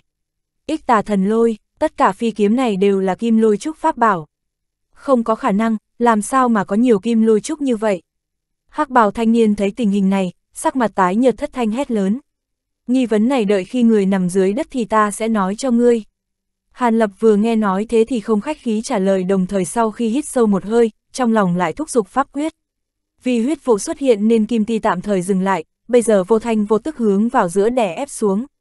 Đại canh kiếm trận này cố nhiên uy lực vô cùng lớn, nhưng đối với tu vi bây giờ của Hàn Lập mà nói lại là có chút miễn cưỡng. Hắn mặc dù có thể vận hành kích phát kiếm trận này nhưng pháp lực tiêu hao quả thực kinh người, hơn nữa sau khi kích thích khởi kiếm trận thì vô lực thôi động kiếm trận gia tốc. Nếu không thì chỉ cần trong nháy mắt điều động kiếm ti đột nhiên ép vào giữa, lập tức có thể đem đối phương giết chết. Làm sao mà trơ mắt nhìn hắc bào thanh niên dùng thủ đoạn đối kháng. Hàn Lập phỏng chừng dựa theo mức độ tiêu hao pháp lực của kiếm trận này thì chỉ khi tiến lên Nguyên Anh Trung kỳ tu sĩ tu luyện mới là lựa chọn tốt nhất. Để thúc giục một nửa kiếm trận đòi hỏi pháp lực hơn xa phổ thông Nguyên Anh sơ kỳ tu sĩ. Cảnh giới của hắn bây giờ căn bản là vô pháp thi triển toàn bộ kiếm trận này. Hừ, ngươi tưởng rằng chỉ bằng vào một cái kiếm trận là có thể vây khốn được bổn tôn giả sao? Kiếm trận của ngươi lợi hại nhưng liệu có thể chặt đứt chấn tông chi bảo của ta được không? hắc bào thanh niên nghe vậy trên mặt dâng lên một tầng hắc khí, lành lạnh nói. Hắn lại vừa nhìn kim ti cách người không đủ 10 trượng, không nói hai lời vung tay, hung hăng đánh một trọng kích lên ngực mình. Phốc một tiếng, một ngụm máu màu đen phun ra khỏi miệng, trong đó có mang theo một cái phiên nhỏ dài chừng một tấc màu xanh biếc. Cái phiên này vừa ra khỏi miệng thì phát ra ánh lục quang lấp lóe, lập tức đem máu đen bốn phía hấp thu không còn một mảnh. Cái phiên này liền biến thành màu xanh biếc, hắc bào thanh niên âm trầm nhìn lá cờ này ngoắc một cái, một tiếng vù tiểu phiên hóa thành một đạo hắc mang bắn tới trong tay. Hai tay trà sát khiến quang mang đại phóng ra, lục phiên lập tức bành trướng rộng ra tới vài thước. Trên bề mặt tiểu phiên lục quang lập lòe, âm vân mờ mịt làm cho người ta không thể thấy rõ diện mục. Chỉ thấy tiểu phiên này rõ ràng thiếu một góc, bộ dáng tựa hồ bị hao tổn chưa phục hồi. Hàn lập đồng tử co rụt lại, trong miệng nói nhỏ một câu. Quỷ La Phiên, lúc đầu âm La Tông Tông chủ từng nói muốn dùng chấn tông chi bảo quỷ La Phiên đối phó hợp hoan lão ma. Sau đó, mặc dù hai người không có thật sự thi triển ra nhưng Hàn Lập vẫn đem cái tên này ghi tạc trong lòng. Hôm nay hắc bảo thanh niên xuất ra tiểu phiên Hàn Lập tự nhiên 89 phần 10 đoán ra. Người cũng cơ trí, đây là một trong chủ phiên của 12 quỷ la phiên. Uy lực của nó như thế nào bản thân ngươi thể nghiệm một chút. Hắc bào thanh niên vừa thấy Hàn Lập nhận ra vật trong tay, đầu tiên là ngẩn ra nhưng theo sau lại cười lạnh nói. Tựa hồ đối với vật trong tay tin tưởng 10 phần, theo sau thanh niên đột nhiên đem tiểu phiên này nắm chặt. Nhằm phương hướng kim ti nhẹ nhàng huy vũ một chút, phốc suy một tiếng, âm vân màu xanh biếc từ trên tiểu phiên hiện lên sau đó kịch liệt tăng vọt đem thân ảnh thanh niên bao ở trong đó. Xung quanh băng hàn thấu cốt âm phong đại khởi, trên không trung không biết khi nào đã bị bao phủ bởi âm vân. Cả bầu trời trong nháy mắt biến thành đen kịt đem ánh mặt trời che khuất hoàn toàn. Sắc trời ảm đạm đồng thời bốn phía cũng không biết từ khi nào xuất hiện lục mang quỷ vụ, tiếng quỷ khắp nổi lên bốn phía. Chỉ phất nhẹ nhàng một cái khiến lão thiên biến sắc, trách không được người này đối với lá cờ này tự tin như thế. Hàn Lập cho dù đối với đại canh kiếm trận tin tưởng không ít nhưng trong lòng cũng hoảng sợ. Nhưng vào lúc này từ phía đối diện vang lên tiếng phá không truyền ra. Vô số đạo dây chỉ màu đen từ trong vũ khí phun ra ra bắn thẳng đến quấn xung quanh Hàn Lập. Kim quang chợt lóe, phi kiếm trong trận pháp cấm chế phát động, vô số đạo kim ti giao xoa thoáng hiện, tất cả hắc tuyến thoáng dừng lại rồi hóa thành vô số đoạn nhỏ rơi xuống. Nhưng lập tức số hắc tuyến bị cắt đứt lại hóa thành một đoàn lục vụ, vụt bay quay về, một lần nữa dung nhập vào trong lục vụ. Di, Hàn Lập chưa cảm giác được như thế nào thì thanh niên trong lục vụ lại kinh ngạc lên tiếng. Âm hồn ti có thể nói là vô cùng cứng cỏi nhưng lại không chịu nổi một kích, bị kiếm trận đối phương kích hủy. Điều này thật có chút ngoài dự liệu. Sau khi hơi trầm ngâm, rốt cục không hề giữ lại nữa mà phát động uy lực lớn nhất quỷ la phiên trong tay. Chỉ thấy hắn đột nhiên đem tiểu phiên trong tay từ lục vụ ném mạnh ra xa, cắm ở trước người khoảng ba thước không nhúc nhích. Theo sau thanh âm chú ngữ tối nghĩa từ trong xương mù vang lên, trận trận âm phong cuốn mê vụ từ bốn phương tám hướng hướng về trung tâm kéo đến. Lục phiên thoáng một cái rồi cuồng trướng, trong nháy mắt đã cao chừng hai trượng. Sương mù mặt ngoài lá cờ này bắt đầu tán đi, lộ ra chân diện mục. Kết quả Hàn Lập vừa thấy, sắc mặt đại biến, các ngươi dĩ nhiên dùng nhiều sinh hồn như vậy để luyện phiên. Các ngươi rốt cuộc đã giết bao nhiêu người rồi. Hàn Lập lớn tiếng quát, bề mặt bích lục phiên dày đặc tràn đầy, áp xúc không biết bao nhiêu khuôn mặt người thu nhỏ. Những khuôn mặt này nam nữ lão ấu đều có, tựa hồ như còn sống, trên lá cờ không ngừng nhúc nhích, vẻ mặt mỗi người đều toát ra vẻ cực kỳ thống khổ. Thật sự cực kỳ kinh khủng, bao nhiêu người ai mà biết được, có lẽ 10 vạn hoặc hơn trăm vạn, trong đó lại phải có tinh hồn hàng trăm tên tu sĩ mới có thể luyện chế thành một cây chủ phiên như vậy. Từ trong lục vụ truyền ra thanh âm của hắc bào thanh niên. Hàn lập im lặng một lúc rồi lạnh lùng nhìn lục vụ chằm chằm, một lát sau trong miệng nhẹ nói vài câu. Các ngươi đáng chết, đáng chết, lời này không biết đã có bao nhiêu người nói qua, nhưng tại hạ không phải vẫn sống tốt đây ư, nhưng thật ra mà nói, hồn phách bọn họ đều bị ta thu vào trong phiên trở thành một bộ phận của tiểu phiên này. Ngươi cũng không ngoại lệ, thanh niên cười diếu cợt nói, theo sau hắn không nói gì nữa, đánh ra một đạo pháp quyết màu đỏ đánh vào trên cự phiên. Lục quang đại phóng, đột nhiên từ trên tiểu phiên hiện ra một cái lỗ đen đường kính cỡ vài thước, sau khi hắc khí bốc lên thì bên trong nổi lên âm phong trận trận.